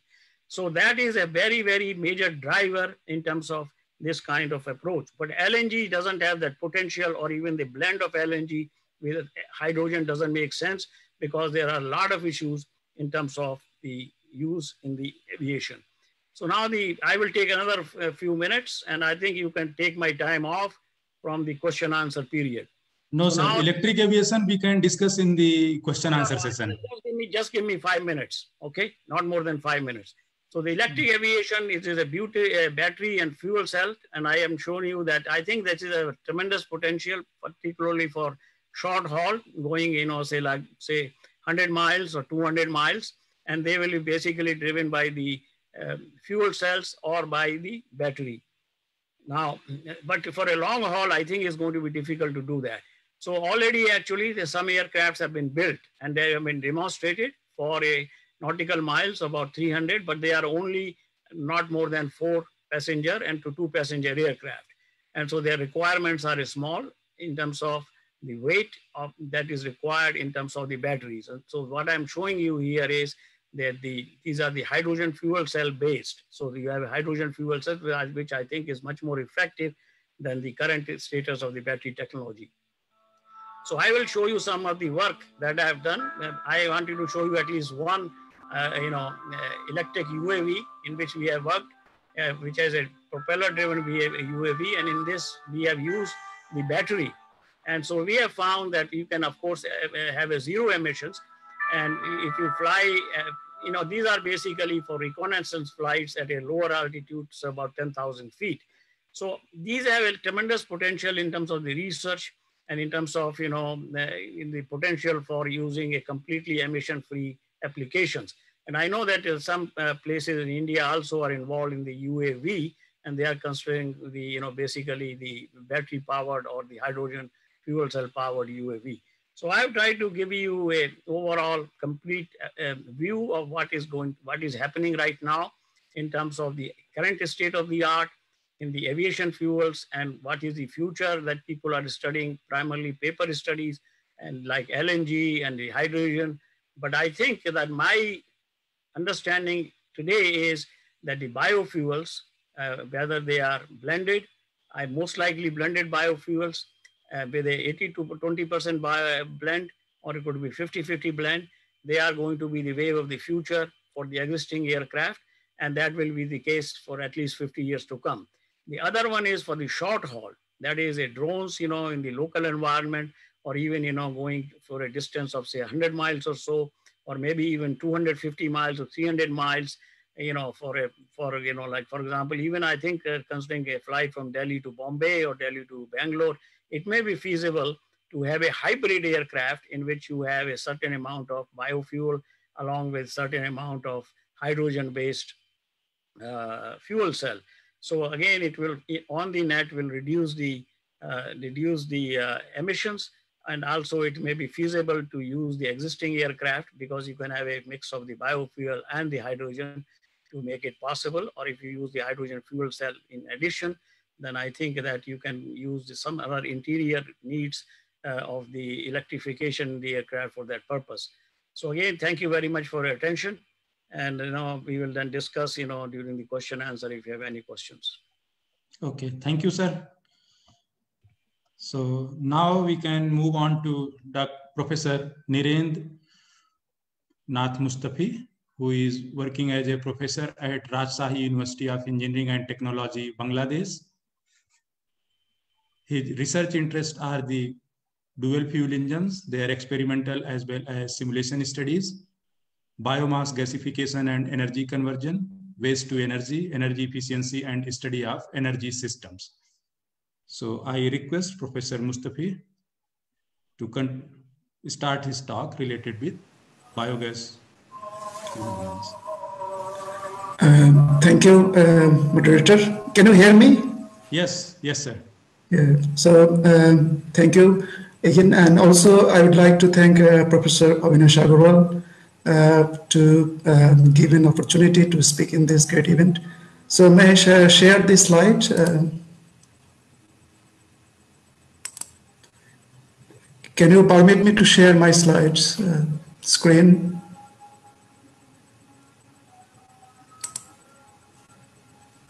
Hello? Yeah. So slides are not visible, sir. Okay. Yeah, I'm trying to share. Okay, uh, okay.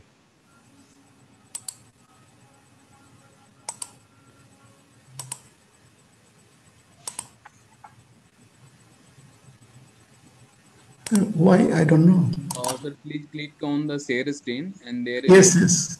Yeah. But uh, why I don't know why it is not. Your browser is.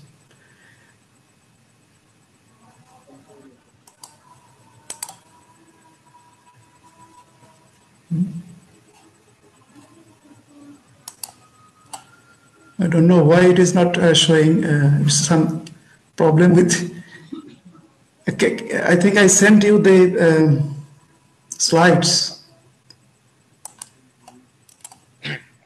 Okay, sir. Uh, we will check. We are checking. And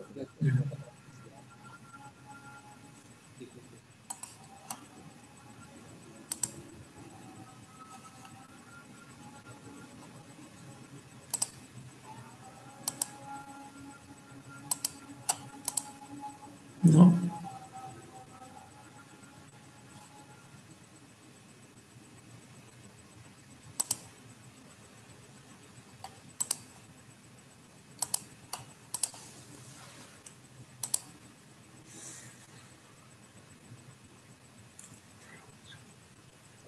Uh, sir, can you please resend that file or confirm which email address you have sent?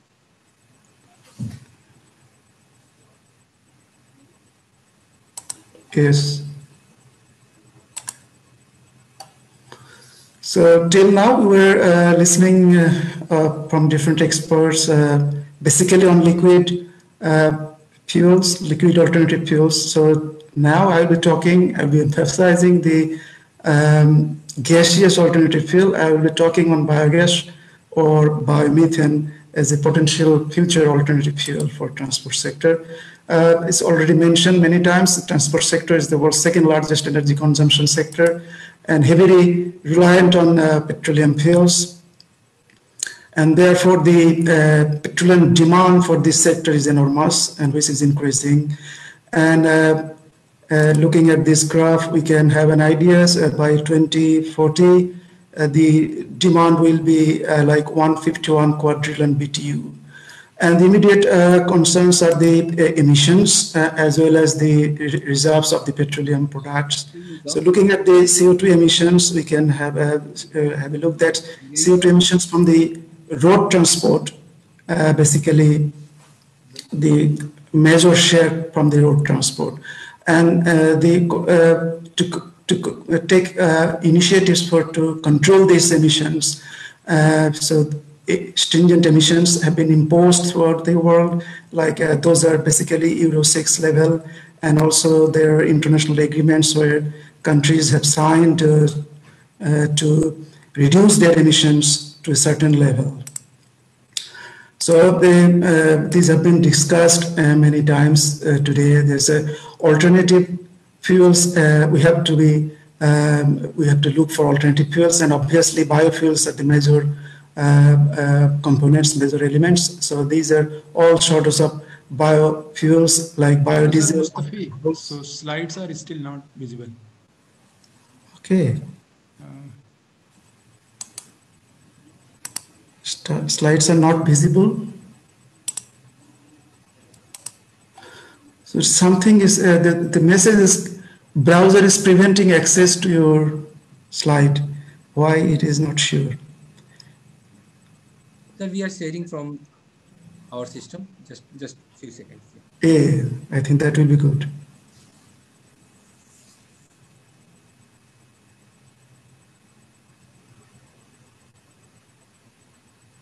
Yeah, so now it's visible. Please. Okay. Yeah. Uh, next, please. Uh, next, next, next. Yeah, uh, I was talking on this slide. So the all sorts of biofuels, uh, the measure is the biodiesel and then bioalcohols, uh, hydrotreated vegetable oils, DME, uh, biomass to liquid, but I will be emphasizing the biogas one. So other uh, um, technologies, uh, other ways to control these emissions, uh, we have to be relied on uh, new and innovative vehicle technologies, uh, including uh, obviously if you consume less, then you contribute to the reduction of emissions. So higher fuel economy will be a, one area. Then you have flexible fuel vehicles. Those will be uh, for adapting alternative fuels. And of course, the emerging combustion technologies, combustion control. These are known as low temperature combustion engines, HCCI, RCCI, PCCI, and gasoline compression ignition engines. These are uh, the merging together the benefits of SI and CI uh, engines, and therefore you, you can have uh, diesel-like or even more than diesel-like uh, diesel efficiency with the uh, less emissions. So, and uh, gasoline compression ignition engines here, you have an opportunity to utilize low-grade hydrocarbon fuels. So, and then of course uh, we have improved after treatment systems that, that will be continuing in a research area And finally, we have electric vehicles, uh, perhaps better uh, future fuel market for um, hybrid electric vehicles and uh, plug-in electric vehicles, fuel cell electric vehicles, uh, uh, and then hydrogen IC engine vehicles. Uh, but of course, the hydrogen generation and other issues are there. next, please.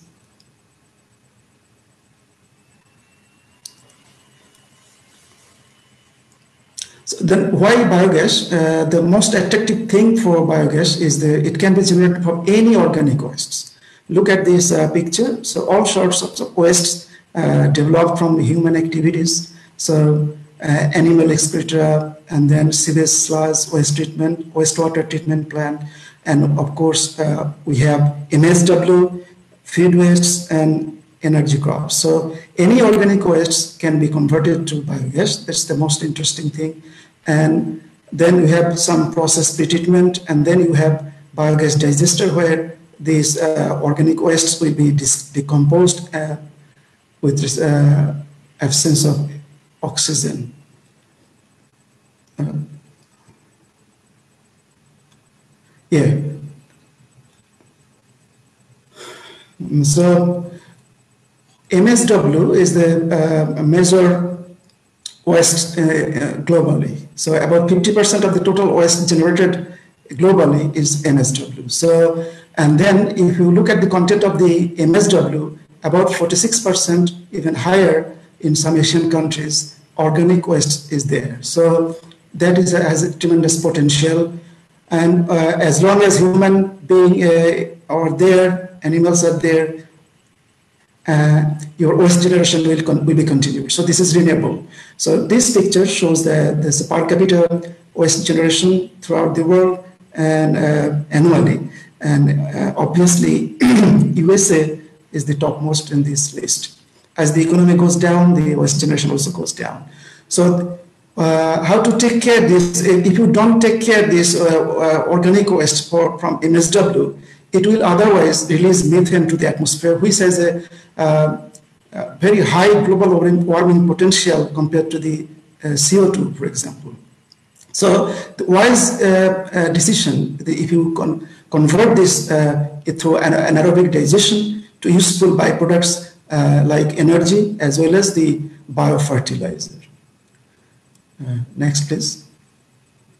So this picture actually interprets the biogas production yield uh, from the different feedstock materials. Um, uh, look at this, uh, the highest yield comes from the grain or energy crops and somewhere 70 to 75 cubic meters per ton of fresh feedstock for MSW. Next, please. And look at the constituents. Uh, the methane is the main component, as we all know. It can vary depending on the feedstock you are using. Uh, feedstock using for this purpose. So this is the, this is the table shows that the global potential for biogas uh, generation. So the two categories, uh, one comes from the energy crops and other comes from the uh, wastes. So getting together, we have a huge, enormous potential around 35.9 uh, petajoule wall potential and very uh, less amount have been so far explored. So the huge potential is there. Next, please. Now, biomethane, what is biomethane? If you remove the, looking at, looking back the uh, uh, constituents, other than methane, other components, other elements are non-fuel element basically. So you can, if you can remove the, those uh, non-fuel elements, the biogas will be enriched uh, by methane and then it is known as biomethane. So typically it contains 90%, but it can also contain 96 to 99% methane. So therefore, if you enrich methane, uh, then you have uh, enhanced energy value compared to raw biogas this table actually uh, compares if you uh, between this raw and uh, purified. So about 66 or 70, 67% higher energy content you can expect in biomethane for one, one meter cube. So the raw biogas, sorry, raw biogas, previous slide please. Raw biogas directly can be used for heat and power generation, but for the sophisticated uh, device like IC engines, you don't uh, use directly because you need uh, purified uh, biogas uh, because you need energy density, enhanced energy density, as well as heating value, and also to make it corrosion free because H2S, the component, is responsible for corrosion. And also you need to compress highly uh, to put into the cylinders, uh, and that is why you need to uh, remove the CO2 component, for example. Next slide, please. Uh, the major technologies are available commercially to remove those uh, unwanted impurities. For example, H2S uh, technologies are available. Even you can list, you can reduce them even less than one ppm. And water uh, also is very simple. You can use silica gel or aluminum oxide. Next slide, please. Now, the major component CO2 uh, has to be removed. Uh, that is a major issue. So uh, as I mentioned already, technologies are available, matured, commercially available. You can purchase systems like uh, two, basically two categories, absorption uh, type and adsorption type. So these are the common, uh, most uh, common uh, methods, pressure swing, adsorption, water scrubbing, physical organic scrubbing, amine scrubbing, and separation by membranes. Next slide, please. Uh, this uh, next few slides actually presenting the schematic. I'm not going into details, but the water scrubbing, you can have a look. This, you, your raw biogas is flowing off and the water shower from upside, uh, from upper side to going to down. So I'm not going into details into this uh, explaining. So next slide, please. This is water scrubbing. This is uh, pressure, pressure swing adsorption. Several units parallelly connected the chemicals are there which absorb this uh, CO2 and then pure methane will come out from the top. Next slide, please. This is membrane separation. And next slide, please. Uh, so this is the comparison table. So uh, here we have these parameters based on which you can compare all the methods available uh, for CO2 removal. So if you have this uh, table in hand, you can uh, consult with the table and looking at the parameters, which one will be suitable for you, uh, you can uh, select. So uh, it's energy. Uh, so looking at this cost comparison, okay, next slide. looking at the cost comparison for biogas upgrading means CO2 removal. as I mentioned already, the water scrubbing method as the has the minimum upgrading cost. Uh, here, this is this picture is actually taken from Sweden scenario. They have two different locations, water scrubbing in Greenland and water scrubbing in uh, Malmberg. But these are the lowest cost for this uh, biogas upgrading. Now, biomethane production, uh, if you talk about the total cost, it has three components like biogas production cost and then cleaning and upgrading and also the distribution. So looking at this picture, you can uh, have an idea. So if you are if, if you are scaling up your production, then you are minimizing or reducing the cost. So uh, and also with, with, this figure, we can understand this uh, manure or waste. Uh, if you generate biogas from these two sources, the cost will be minimum compared to the energy crops. Next slide, please. Now, this picture actually tells us uh, how the biomethane in terms of energy carrier. So the topmost uh, top three actually the biofuels basically they are liquid, just like bioethanol, biodiesel, rapeseed oil, and the lower uh, four are from biomethane or biogas. So if, if you look at the uh, mileage, for example, so highest mileage you can expect from biomethane. This is one hectare of corn equivalent uh, amount of uh, oil equivalent. This is uh, this has been explained here. So compared to other biofuels like liquid biofuels, biomethane will have higher mileage. Uh, we can see from this picture. Next, please. Now, if you have biomethane in your um, uh, already produced, then you, you want to use in your existing vehicles. So we have two gasoline vehicles and diesel vehicles. If you use gasoline vehicles, we have two methods. Like if you you, you can use either biofuel method or gas only mode. Biofuel means uh, with the existing gasoline uh, fueling system, you, you, you, will add another uh, fueling system for biomethane. But this gas only mode is the dedicated engine uh, for biomethane. So uh, for biofuel, there is a flexibility. You can actually switch over from one to other. Like you, you can run on gasoline only or uh, or biomethane only. Diesel uh, fuel, sorry, back please. Uh, in, the, in the diesel vehicles, uh, the mode is dual fuel. So you, in, uh, you inject in, in the port of a diesel engine uh, biogas and as uh, existing diesel injection will be there. So in this method, about 60 to 65% diesel can be replaced easily. And also it has the flexibility uh, to switch over only, only diesel mode under operation. So this has been taken from uh, ARENA report 2018. Uh, this picture actually uh, tells us compared to all sorts of biofuels and alternatives uh, and also the conventional, how the biomethane perform in terms of CO2 reductions. Looking at these three bar, green bars, uh, up to 80% is possible to uh, reduction possible in the uh, greenhouse gas or CO2 emissions compared to gasoline, which is 164 uh, gram CO2 equivalent per kilometer. Next slide, please. Uh, looking at the other emissions, um, uh, NOx and PAs uh, is drastically reduced if you use uh, biomethane. The black one is biomethane. Next, please. Uh, some of these successful stories, uh, like Sweden, which is the leading country, their capacity is increasing 20% per year. And uh, they have 655 city buses, which has 51,000 tons of CO2 reduction they have already achieved. And also the, in the, there is a city, Linköping, uh, which is the first biogas-based train they have in, launched in 2005. Next, please.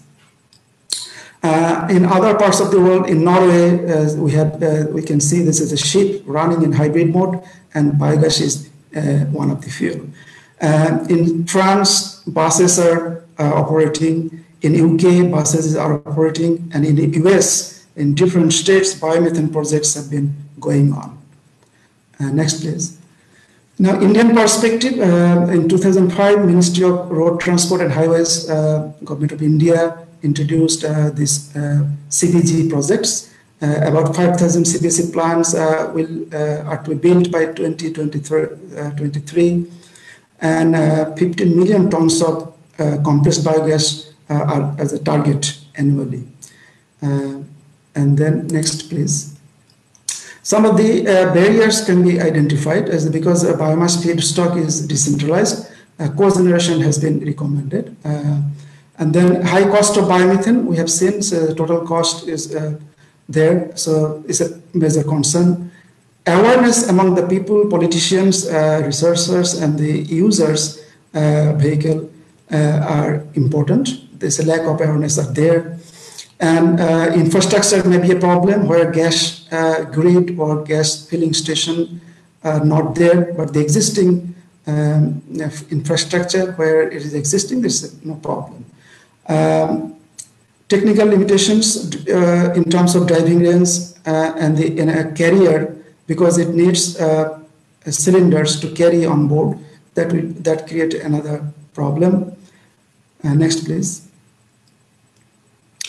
So the recommendations uh, in terms of uh, the barriers, uh, co-generation or co-digestion uh, can be recommended. government should offer some economic incentives in short-term subsidies. these are the listed incentives taken example from already um, using this technology in their country, like from Sweden, we can uh, take these examples. Respective authorities should arrange necessarily campaign programs because we have seen the lack of awareness is there, why biogas potential is not explored yet. So awareness is the, should be proper. And then policies and measures should be adopted, stimulating biogas as the vehicle fuel, as a green transport. Uh, next, please setting up rules and regulations uh, is important. uh, with the existing natural gas grid and incorporating private sector entities uh, to scale up biogas biomethane technologies. Formulating national policy is important. Adequate research and development to minimize the production cost should be there. And of course, this uh, liquefying uh, bio biogas um, or biomethane it should be encouraged. Next, please. So the conclusions, biogas or biomethane can be regarded as the most accessible energy worldwide since it is derived from wastes. Hence, the uh, use of biogas vehicular applications is highly promising. So far, its utilization uh, based on European countries, but uh, due to availability of various biomethane schemes there, many commercial biogas in European countries are available. Countries which already have natural gas grids and use natural gas vehicles are in advantageous position. Necessary initiatives and efforts are therefore required for the government, private bodies, as well as from the uh, waste treatment management systems. So this is uh, the ending of my talk. Thank you for your uh, attention. Thank you, Professor Mustafi. So this brings us to the end for the opening remarks. But now we have a lot of very interesting questions. And I hope like panelists will not mind extending this session little longer so that we can respond to all the collected questions. So uh, maybe I can start with Professor Agarwal. So there is one question that he was talking about storage density of the aviation fuels. So all the liquid fuels, what he mentioned, they are oxygenated. So there are any options being considered who do not contain oxygen that so that it does not adversely affect the storage part.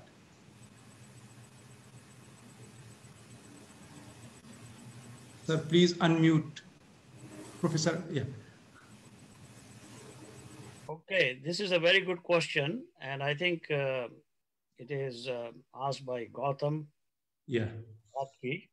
Yeah. And uh, so I think that this is not only a problem with the uh, the aviation, but also is problem with the uh, ground vehicles. And so the the the all the biofuels uh, compared to let us say the petroleum based or the gasoline that we use, they all have this difficulty that they have a lower volumetric and gravimetric energy. And I pointed out, you know, during my presentation. And so it turns out that the, the, the issue is that, no, that if you want, that what is your objective? So your objective is to cover, let us say the same range and the same passengers and so on and so forth, and you want to have the same weight, uh, then, you know, it is going to be difficult because in order to cover the same range with the same passengers and you have a given takeoff weight for the, uh, the given weight of the aircraft itself, it consists of its structure and seats, etc., then it turns out that you cannot cover that much range. So we have a biofuel because of the lower density, both uh, in terms of the space as well as in terms of the gravimetric density, uh, you will have to cover a smaller range of the same size. Or you will have to expand the storage capability of the aircraft. So now, the second option is uh, not really feasible because that requires uh, a tremendous amount of investment. Anytime you have a modification of the aircraft, and that is why you see that we have all these in the aircraft industry is modification. You start with 737, which is a very popular aircraft. India also has a number of them. And so you start at 700, uh, 200 model, 300 model, now it is 800 model.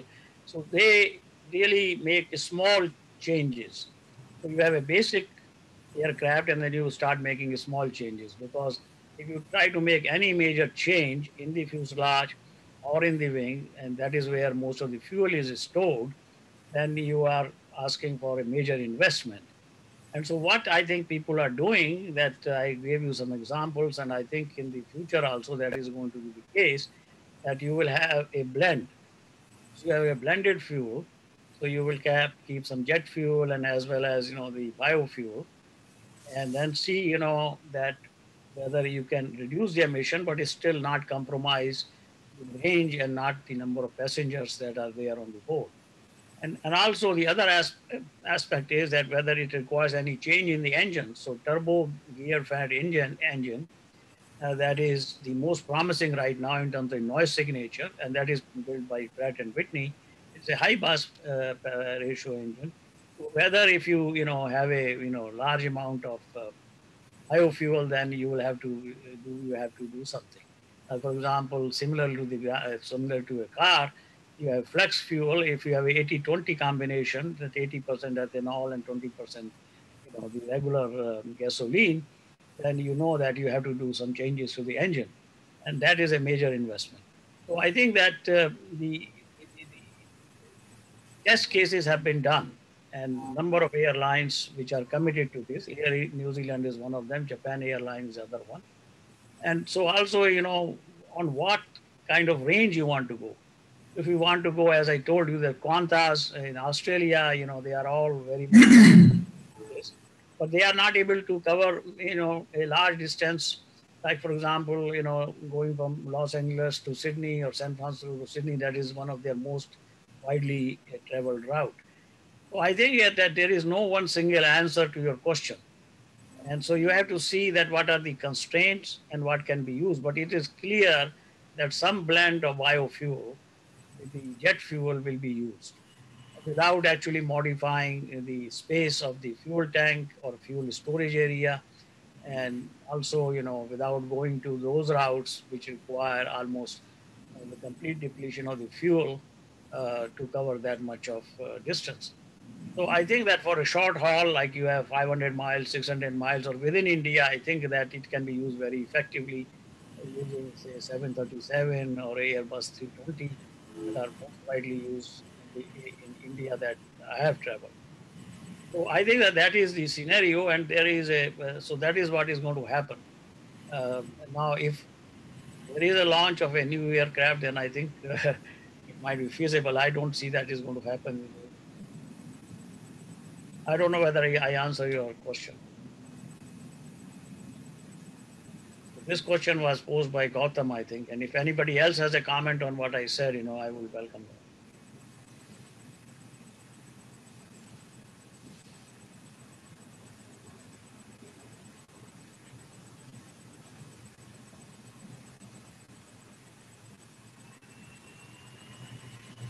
Okay.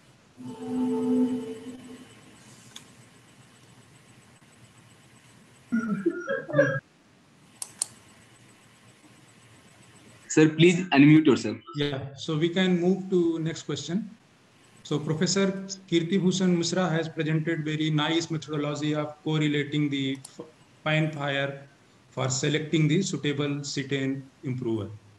So it has been asked, can he further elaborate how this pan fire characteristics are related with ignition delay and like more details about methodology, how they can be related with selecting the suitable ignition improver. All right. See, uh, what we are doing is not directly connecting everything with the pan fire experiment, but uh, just to get an idea about how these fuels in different proportion, when we blend them in different proportion, how do they burn under ambient condition? We know that uh, the free burning rate of any fuel is a function of heat of combustion and heat of vaporization. This theory basically fails when we go to the energetic fuels category.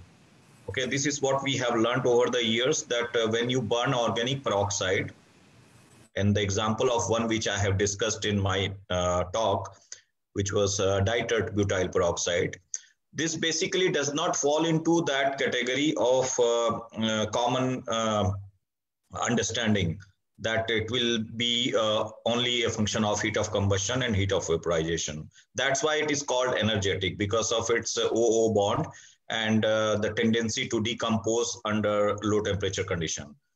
So once we have a data set at the ambient condition of this fuel burning behavior, then what we do is we try to correlate what happens when we put them under pressure. Okay, so when we have the relation between ambient pressure and under different pressure burning behavior, then we'll have at least a sort of ratio what can be the burning rate under pressure. Okay, so this gives us an idea about yes, uh, this combination of fuels can be effective when we use them in diesel engines. So this is not the first uh, time that we are doing this, but people have been using this uh, DTBP as cetane improver for a long time. And uh, connecting each individual fuel or observing their behavior in the diesel engine is not possible. Therefore, we have to, we have to uh, somehow uh, know their behavior at the laboratory scale test setup under ambient condition and then that will form a little uh, fair basis to select uh, the different proportions out of those fuels. So uh, this was the basis, but there is no direct relationship between the pan fire burning behavior and cetane number. Okay, so there is no uh, such uh, theory that we have deduced in our work. It's just an just as an experimental setup to uh, get a prior idea about their free burning behavior. Okay, thank you. Yeah, so there is quest one question for Professor Yogesh Sharma. So despite of like all the technical challenges being solved for biodiesel production, so particularly in India, what are the barriers which are causing that it is not spreading at large scale? Well, uh, see the methodology and technology for biodiesel production have already been established by now. There are some modifications each day going somewhere here in other parts of the world and different laboratories. These are research levels and this will keep going. You know, research keeps going all the time. If we look at the biodiesel production, we have got uh, two major uh, components there. One is feedstock, another is catalyst. So catalyst, a lot of research is going on is catalyst uh, synthesis, especially uh, synthesis and production of uh, heterogeneous catalysts for biodiesel production. There are various regions, obvious regions for uh, application of uh, heterogeneous catalysts for biodiesel production. Then one thing which is left is uh, the other part that is feedstock material. So answer to very uh, direct answer to your question is that it is basically feedstock material which is not available. Number one. Number two, a lot of research is yet to be done that uh, um, could uh, waste uh, frying oil, that is the like focus of the global focus uh, as a feedstock material uh, can it be collected and used in, in our country? So, you see, it, it, could not pick up because of these reasons only. There are like reports that biodiesel is produced cost of cost also. The cost of feedstock material is, is not viable. There are some outlets in our country where uh, biodiesel is like uh, sold to customers, and then it, that is subsidized rate. Like government uh, keeps it rate a rupee less than the rate of diesel. But then it, it didn't pick up because it, its cost has to be lesser and lesser. It can pick up only when like the, the usual diesel is not available. Then you're left with nothing but this particular alternate only. So it's basically answer to your question is that it is feedstock which is not available. And then uh, it is not, uh, biodiesel as such is not available at outlets. So this is answer to whatever you asked me. Okay. So but thank I you, have sir. a very I have a very small question um, from Professor Mishra. Okay. Yes, sir. Please go ahead. Professor Mishra, like it's a very interesting and important lecture uh, discussion you presented, and I thank you for that and congratulate you. But then my reservations are that uh, when we blend these biofuels to uh, increase their cetane number, uh, I think there would be uh, there would be an issue of uh, emissions, you know. different emissions would come up. No, we always talk of uh, carbon monoxide, nitro- nitrogen oxides, sulfur oxides, hydrocarbons. But when we blend it with some materials, so there could be some other emissions which may not be environmentally friendly and which could be like uh, affecting fauna, flora, everybody adversely.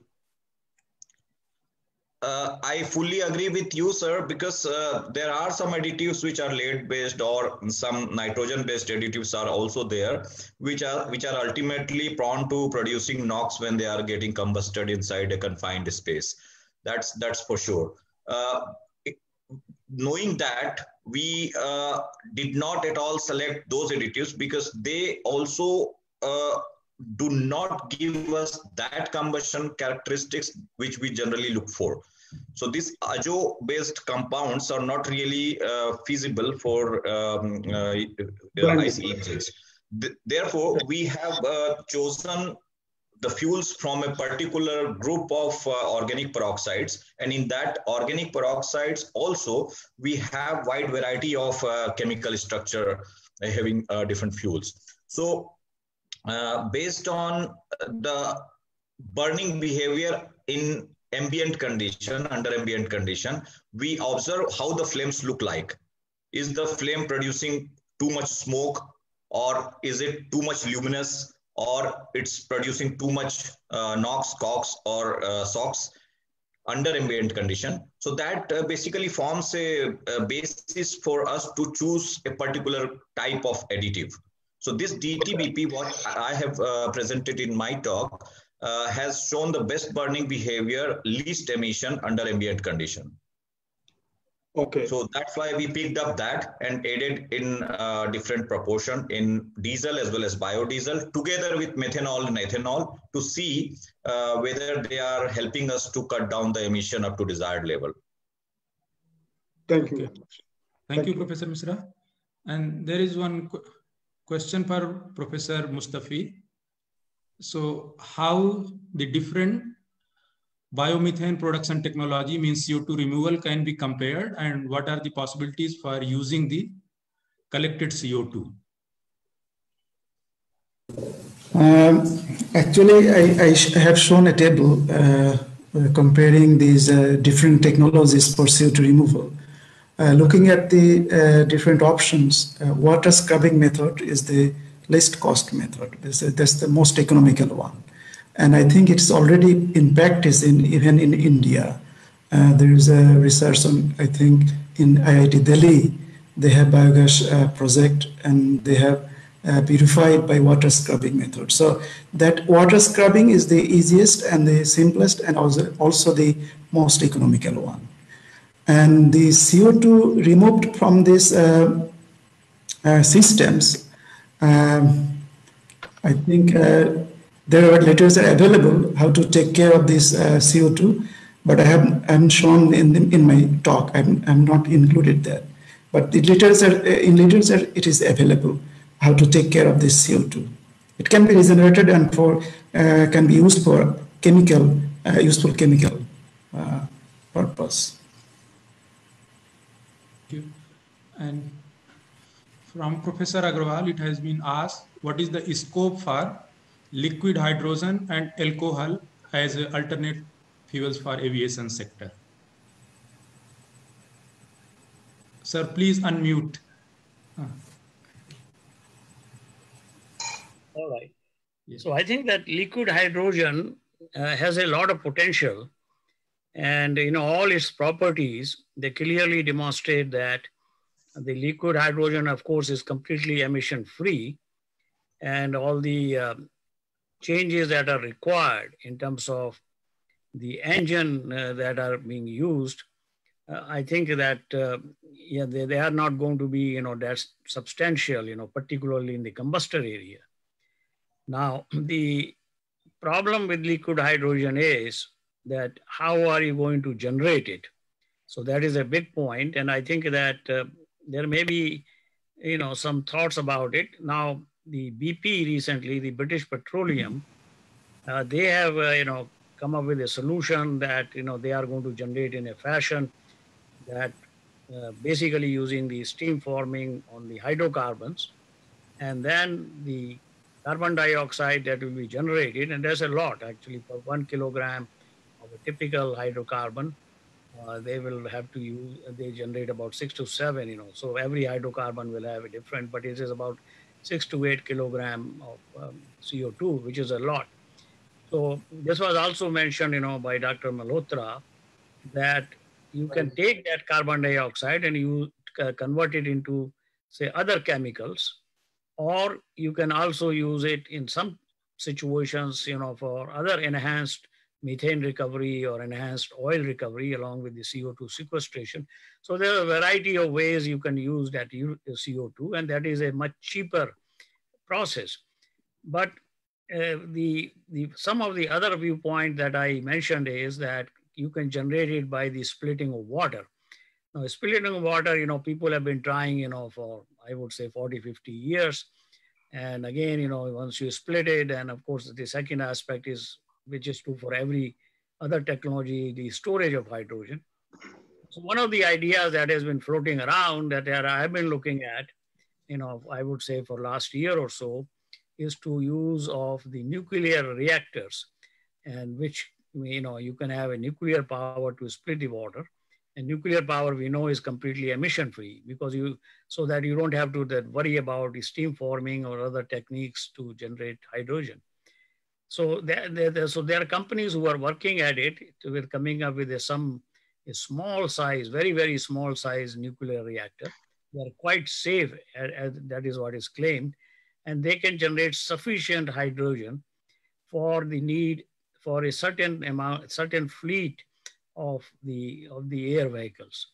So I think that that is what I'm looking at as a just a research project, which I mentioned, and there is a company name is NuScale and a lot of uh, information is available if you Google it.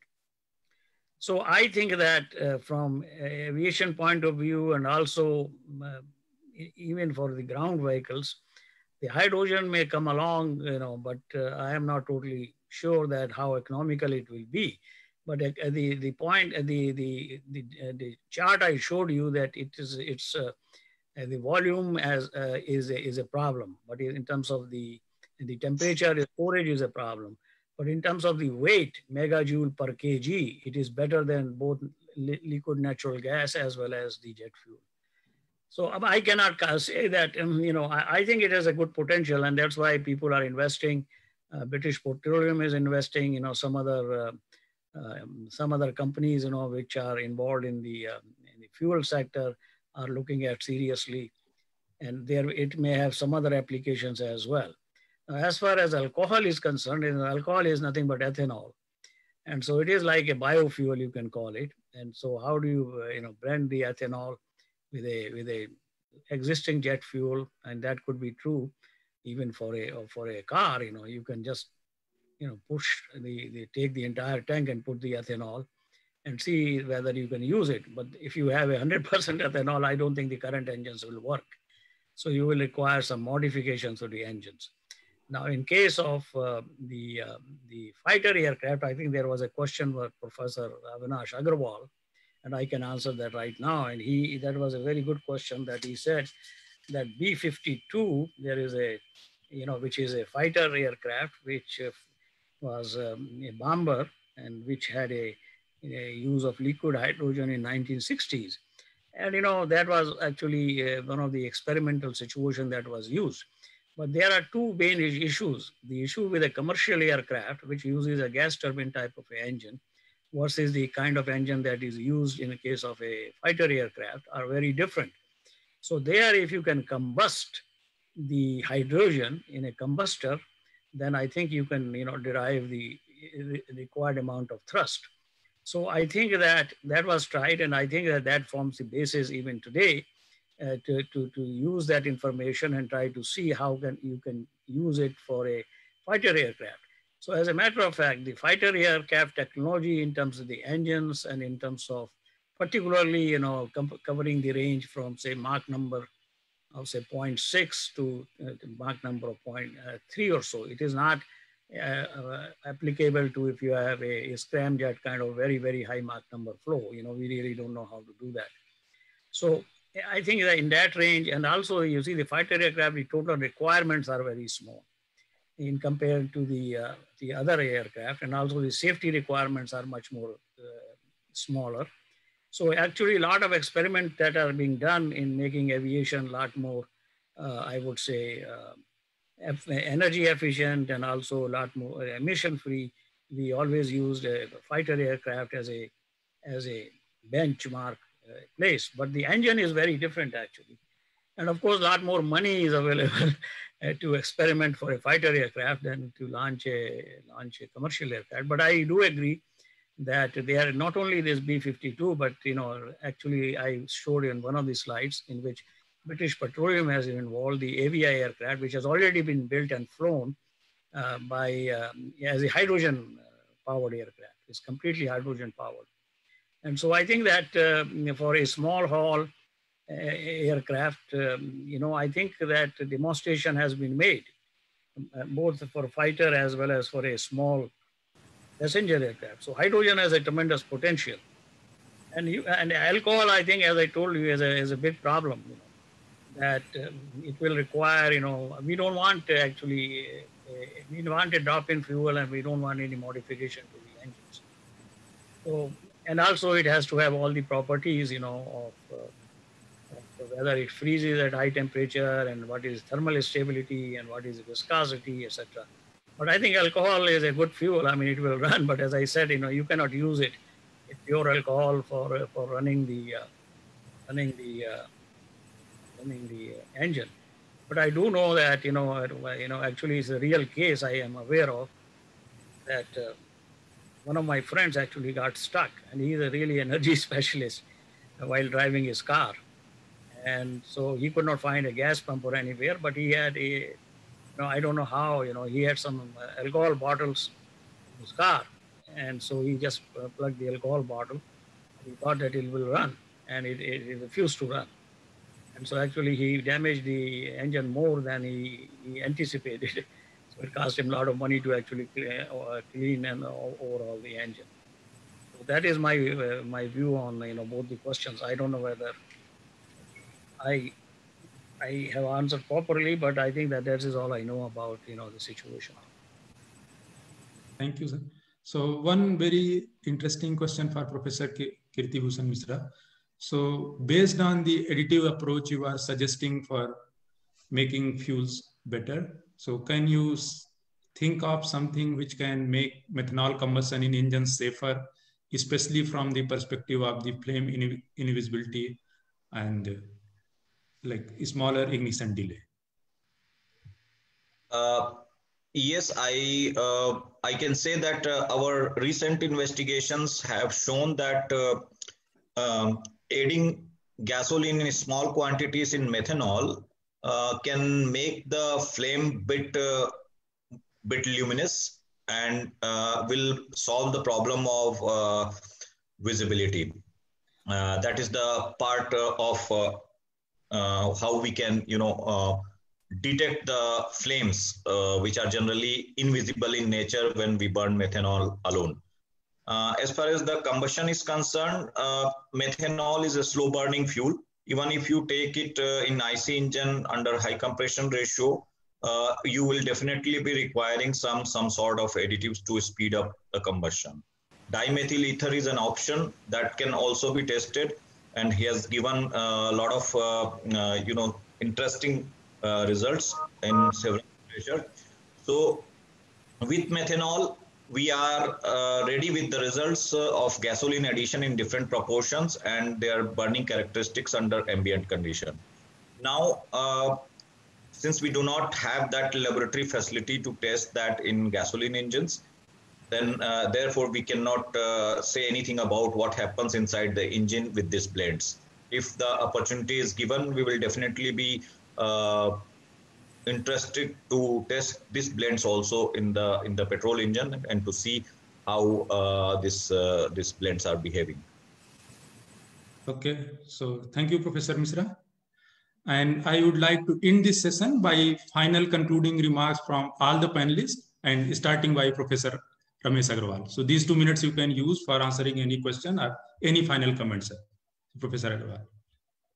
Yeah, I really enjoyed, you know, the presentations. I think uh, I learned a lot, you know, about the amount of work that is being done by various researchers in terms of, you know, the various kind of uh, fuel plants and, you know, and I think it was very informative, particularly, you know, how they are addressing, you know, the needs, you know, that are, that are needed, you know, in India. So I think it was a really, you know, very nice and very, uh, informative session, and I think uh, uh, the uh, the presentation, you know, that by Dr. Mishra, you know, particularly as he was mentioning, I think that if he can, um, you know, that the the additive that he has added, I think it looks really very promising, you know, and I, I was really impressed with that. But if you know, and as a next step, as he was mentioning already, that he can um, figure out that how much blend of uh, methanol um, with the gasoline uh, can be used in a IC engine effectively and also how much will be the emission in that and then maybe he can add that additive that he's talking about uh, you know and speed up the uh, combustion process. I think that it may have some impact. And so i that is just a thought you know that after listening to his presentation because I think that that will have a lot of impact in the long run. But again, I enjoyed, uh, you know, the entire session, and um, I think um, it was worthwhile. And I want to again thank, um, you know, Professor Avinash Agarwal to persuade me to to join this session, and I think it was worthwhile. And also Akhilendra Pratap Singh, and I want to thank you for moderating the session. Thank you, sir. So, Professor Yogesh Sharma. So, any final thought just in yeah, one minute. I mean, many, lot, many thoughts. First thought, uh, see, I'm also uh, conducting one uh, international conference, 18th to 20th of December. So I had written a message to Khalid that, that I'm there, so I, will not be able to uh, the session. But then I thank uh, Paul, insisted me to join this session, so I somehow came and make, make it possible to be there because of and I really would have missed the greatness of Sir Agarwal, Sir K.B. Mishra, Dr. Uh, Malhotra, and uh, such a nice conduction of this uh, particular session by you, uh, Dr. Dhar. So I thank you very, very much. But then I have very small, like, uh, question lingering in my mind about additives uh, in biofuels. So I also, it interests me also maybe I also get into this particular research. That to me, that if you add anything that has that has to that that has to have some consequences on the emissions. So my reservations are there. So uh, that Professor Mishra, he has a good laboratory and he says he'll be conducting a few things, few experiments on uh, emissions. Additives are there.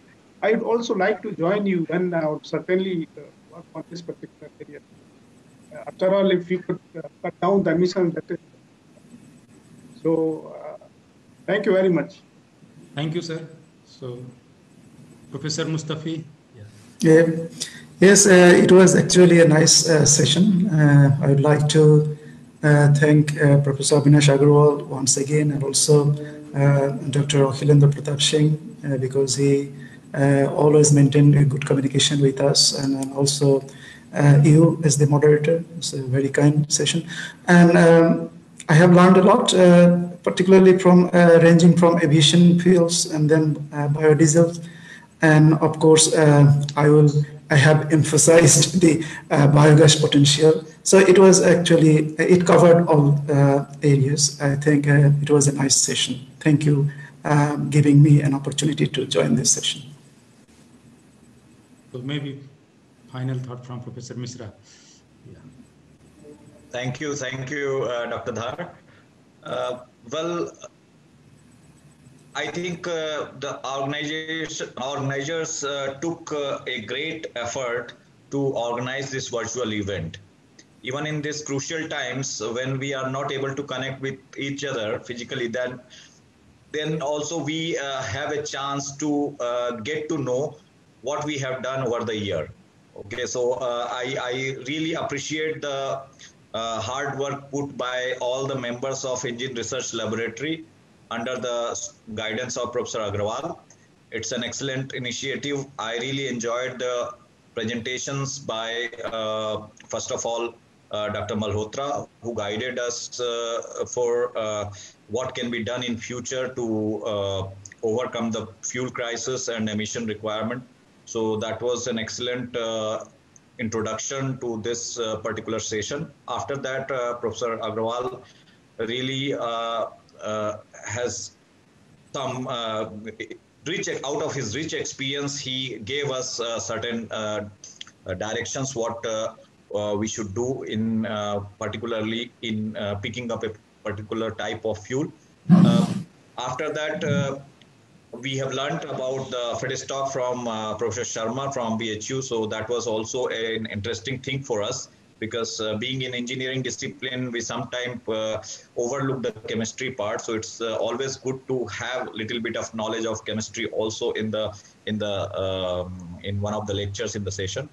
Uh, after that, uh, I, I really appreciate the lectures by Dr. Mustafi, uh, where we learned how biogas can also be used uh, as a potential fuel for future. So, in a nutshell, I can say that it was uh, uh, it was a good combination of all the uh, demanding topics in this particular area of alternative fuels and excellently organized by uh, Dr. Akhilendra Pratap Singh and moderated by Dr. Atul Dhar. Once again, thank you very much for having me here today. And uh, I congratulate all the members of Indian Research Laboratory, especially Professor Agarwal. And uh, I look forward Thank to meet again to all of you in next uh, event. So thanks for making this session really wonderful by nice input and and I'm sorry for the participants whose questions may not have been taken. Still, like after 30 minutes delay, 54 participants they are with us. And I hope we have uh, collectively contributed something meaningful from this session. With this note, officially I am announcing the closure of this session. And who want to discuss, like of course, unofficially it can continue for a minute. Thank you. All right. Thank you all. Thank you. Thank you. Have a nice time. Good night. Good.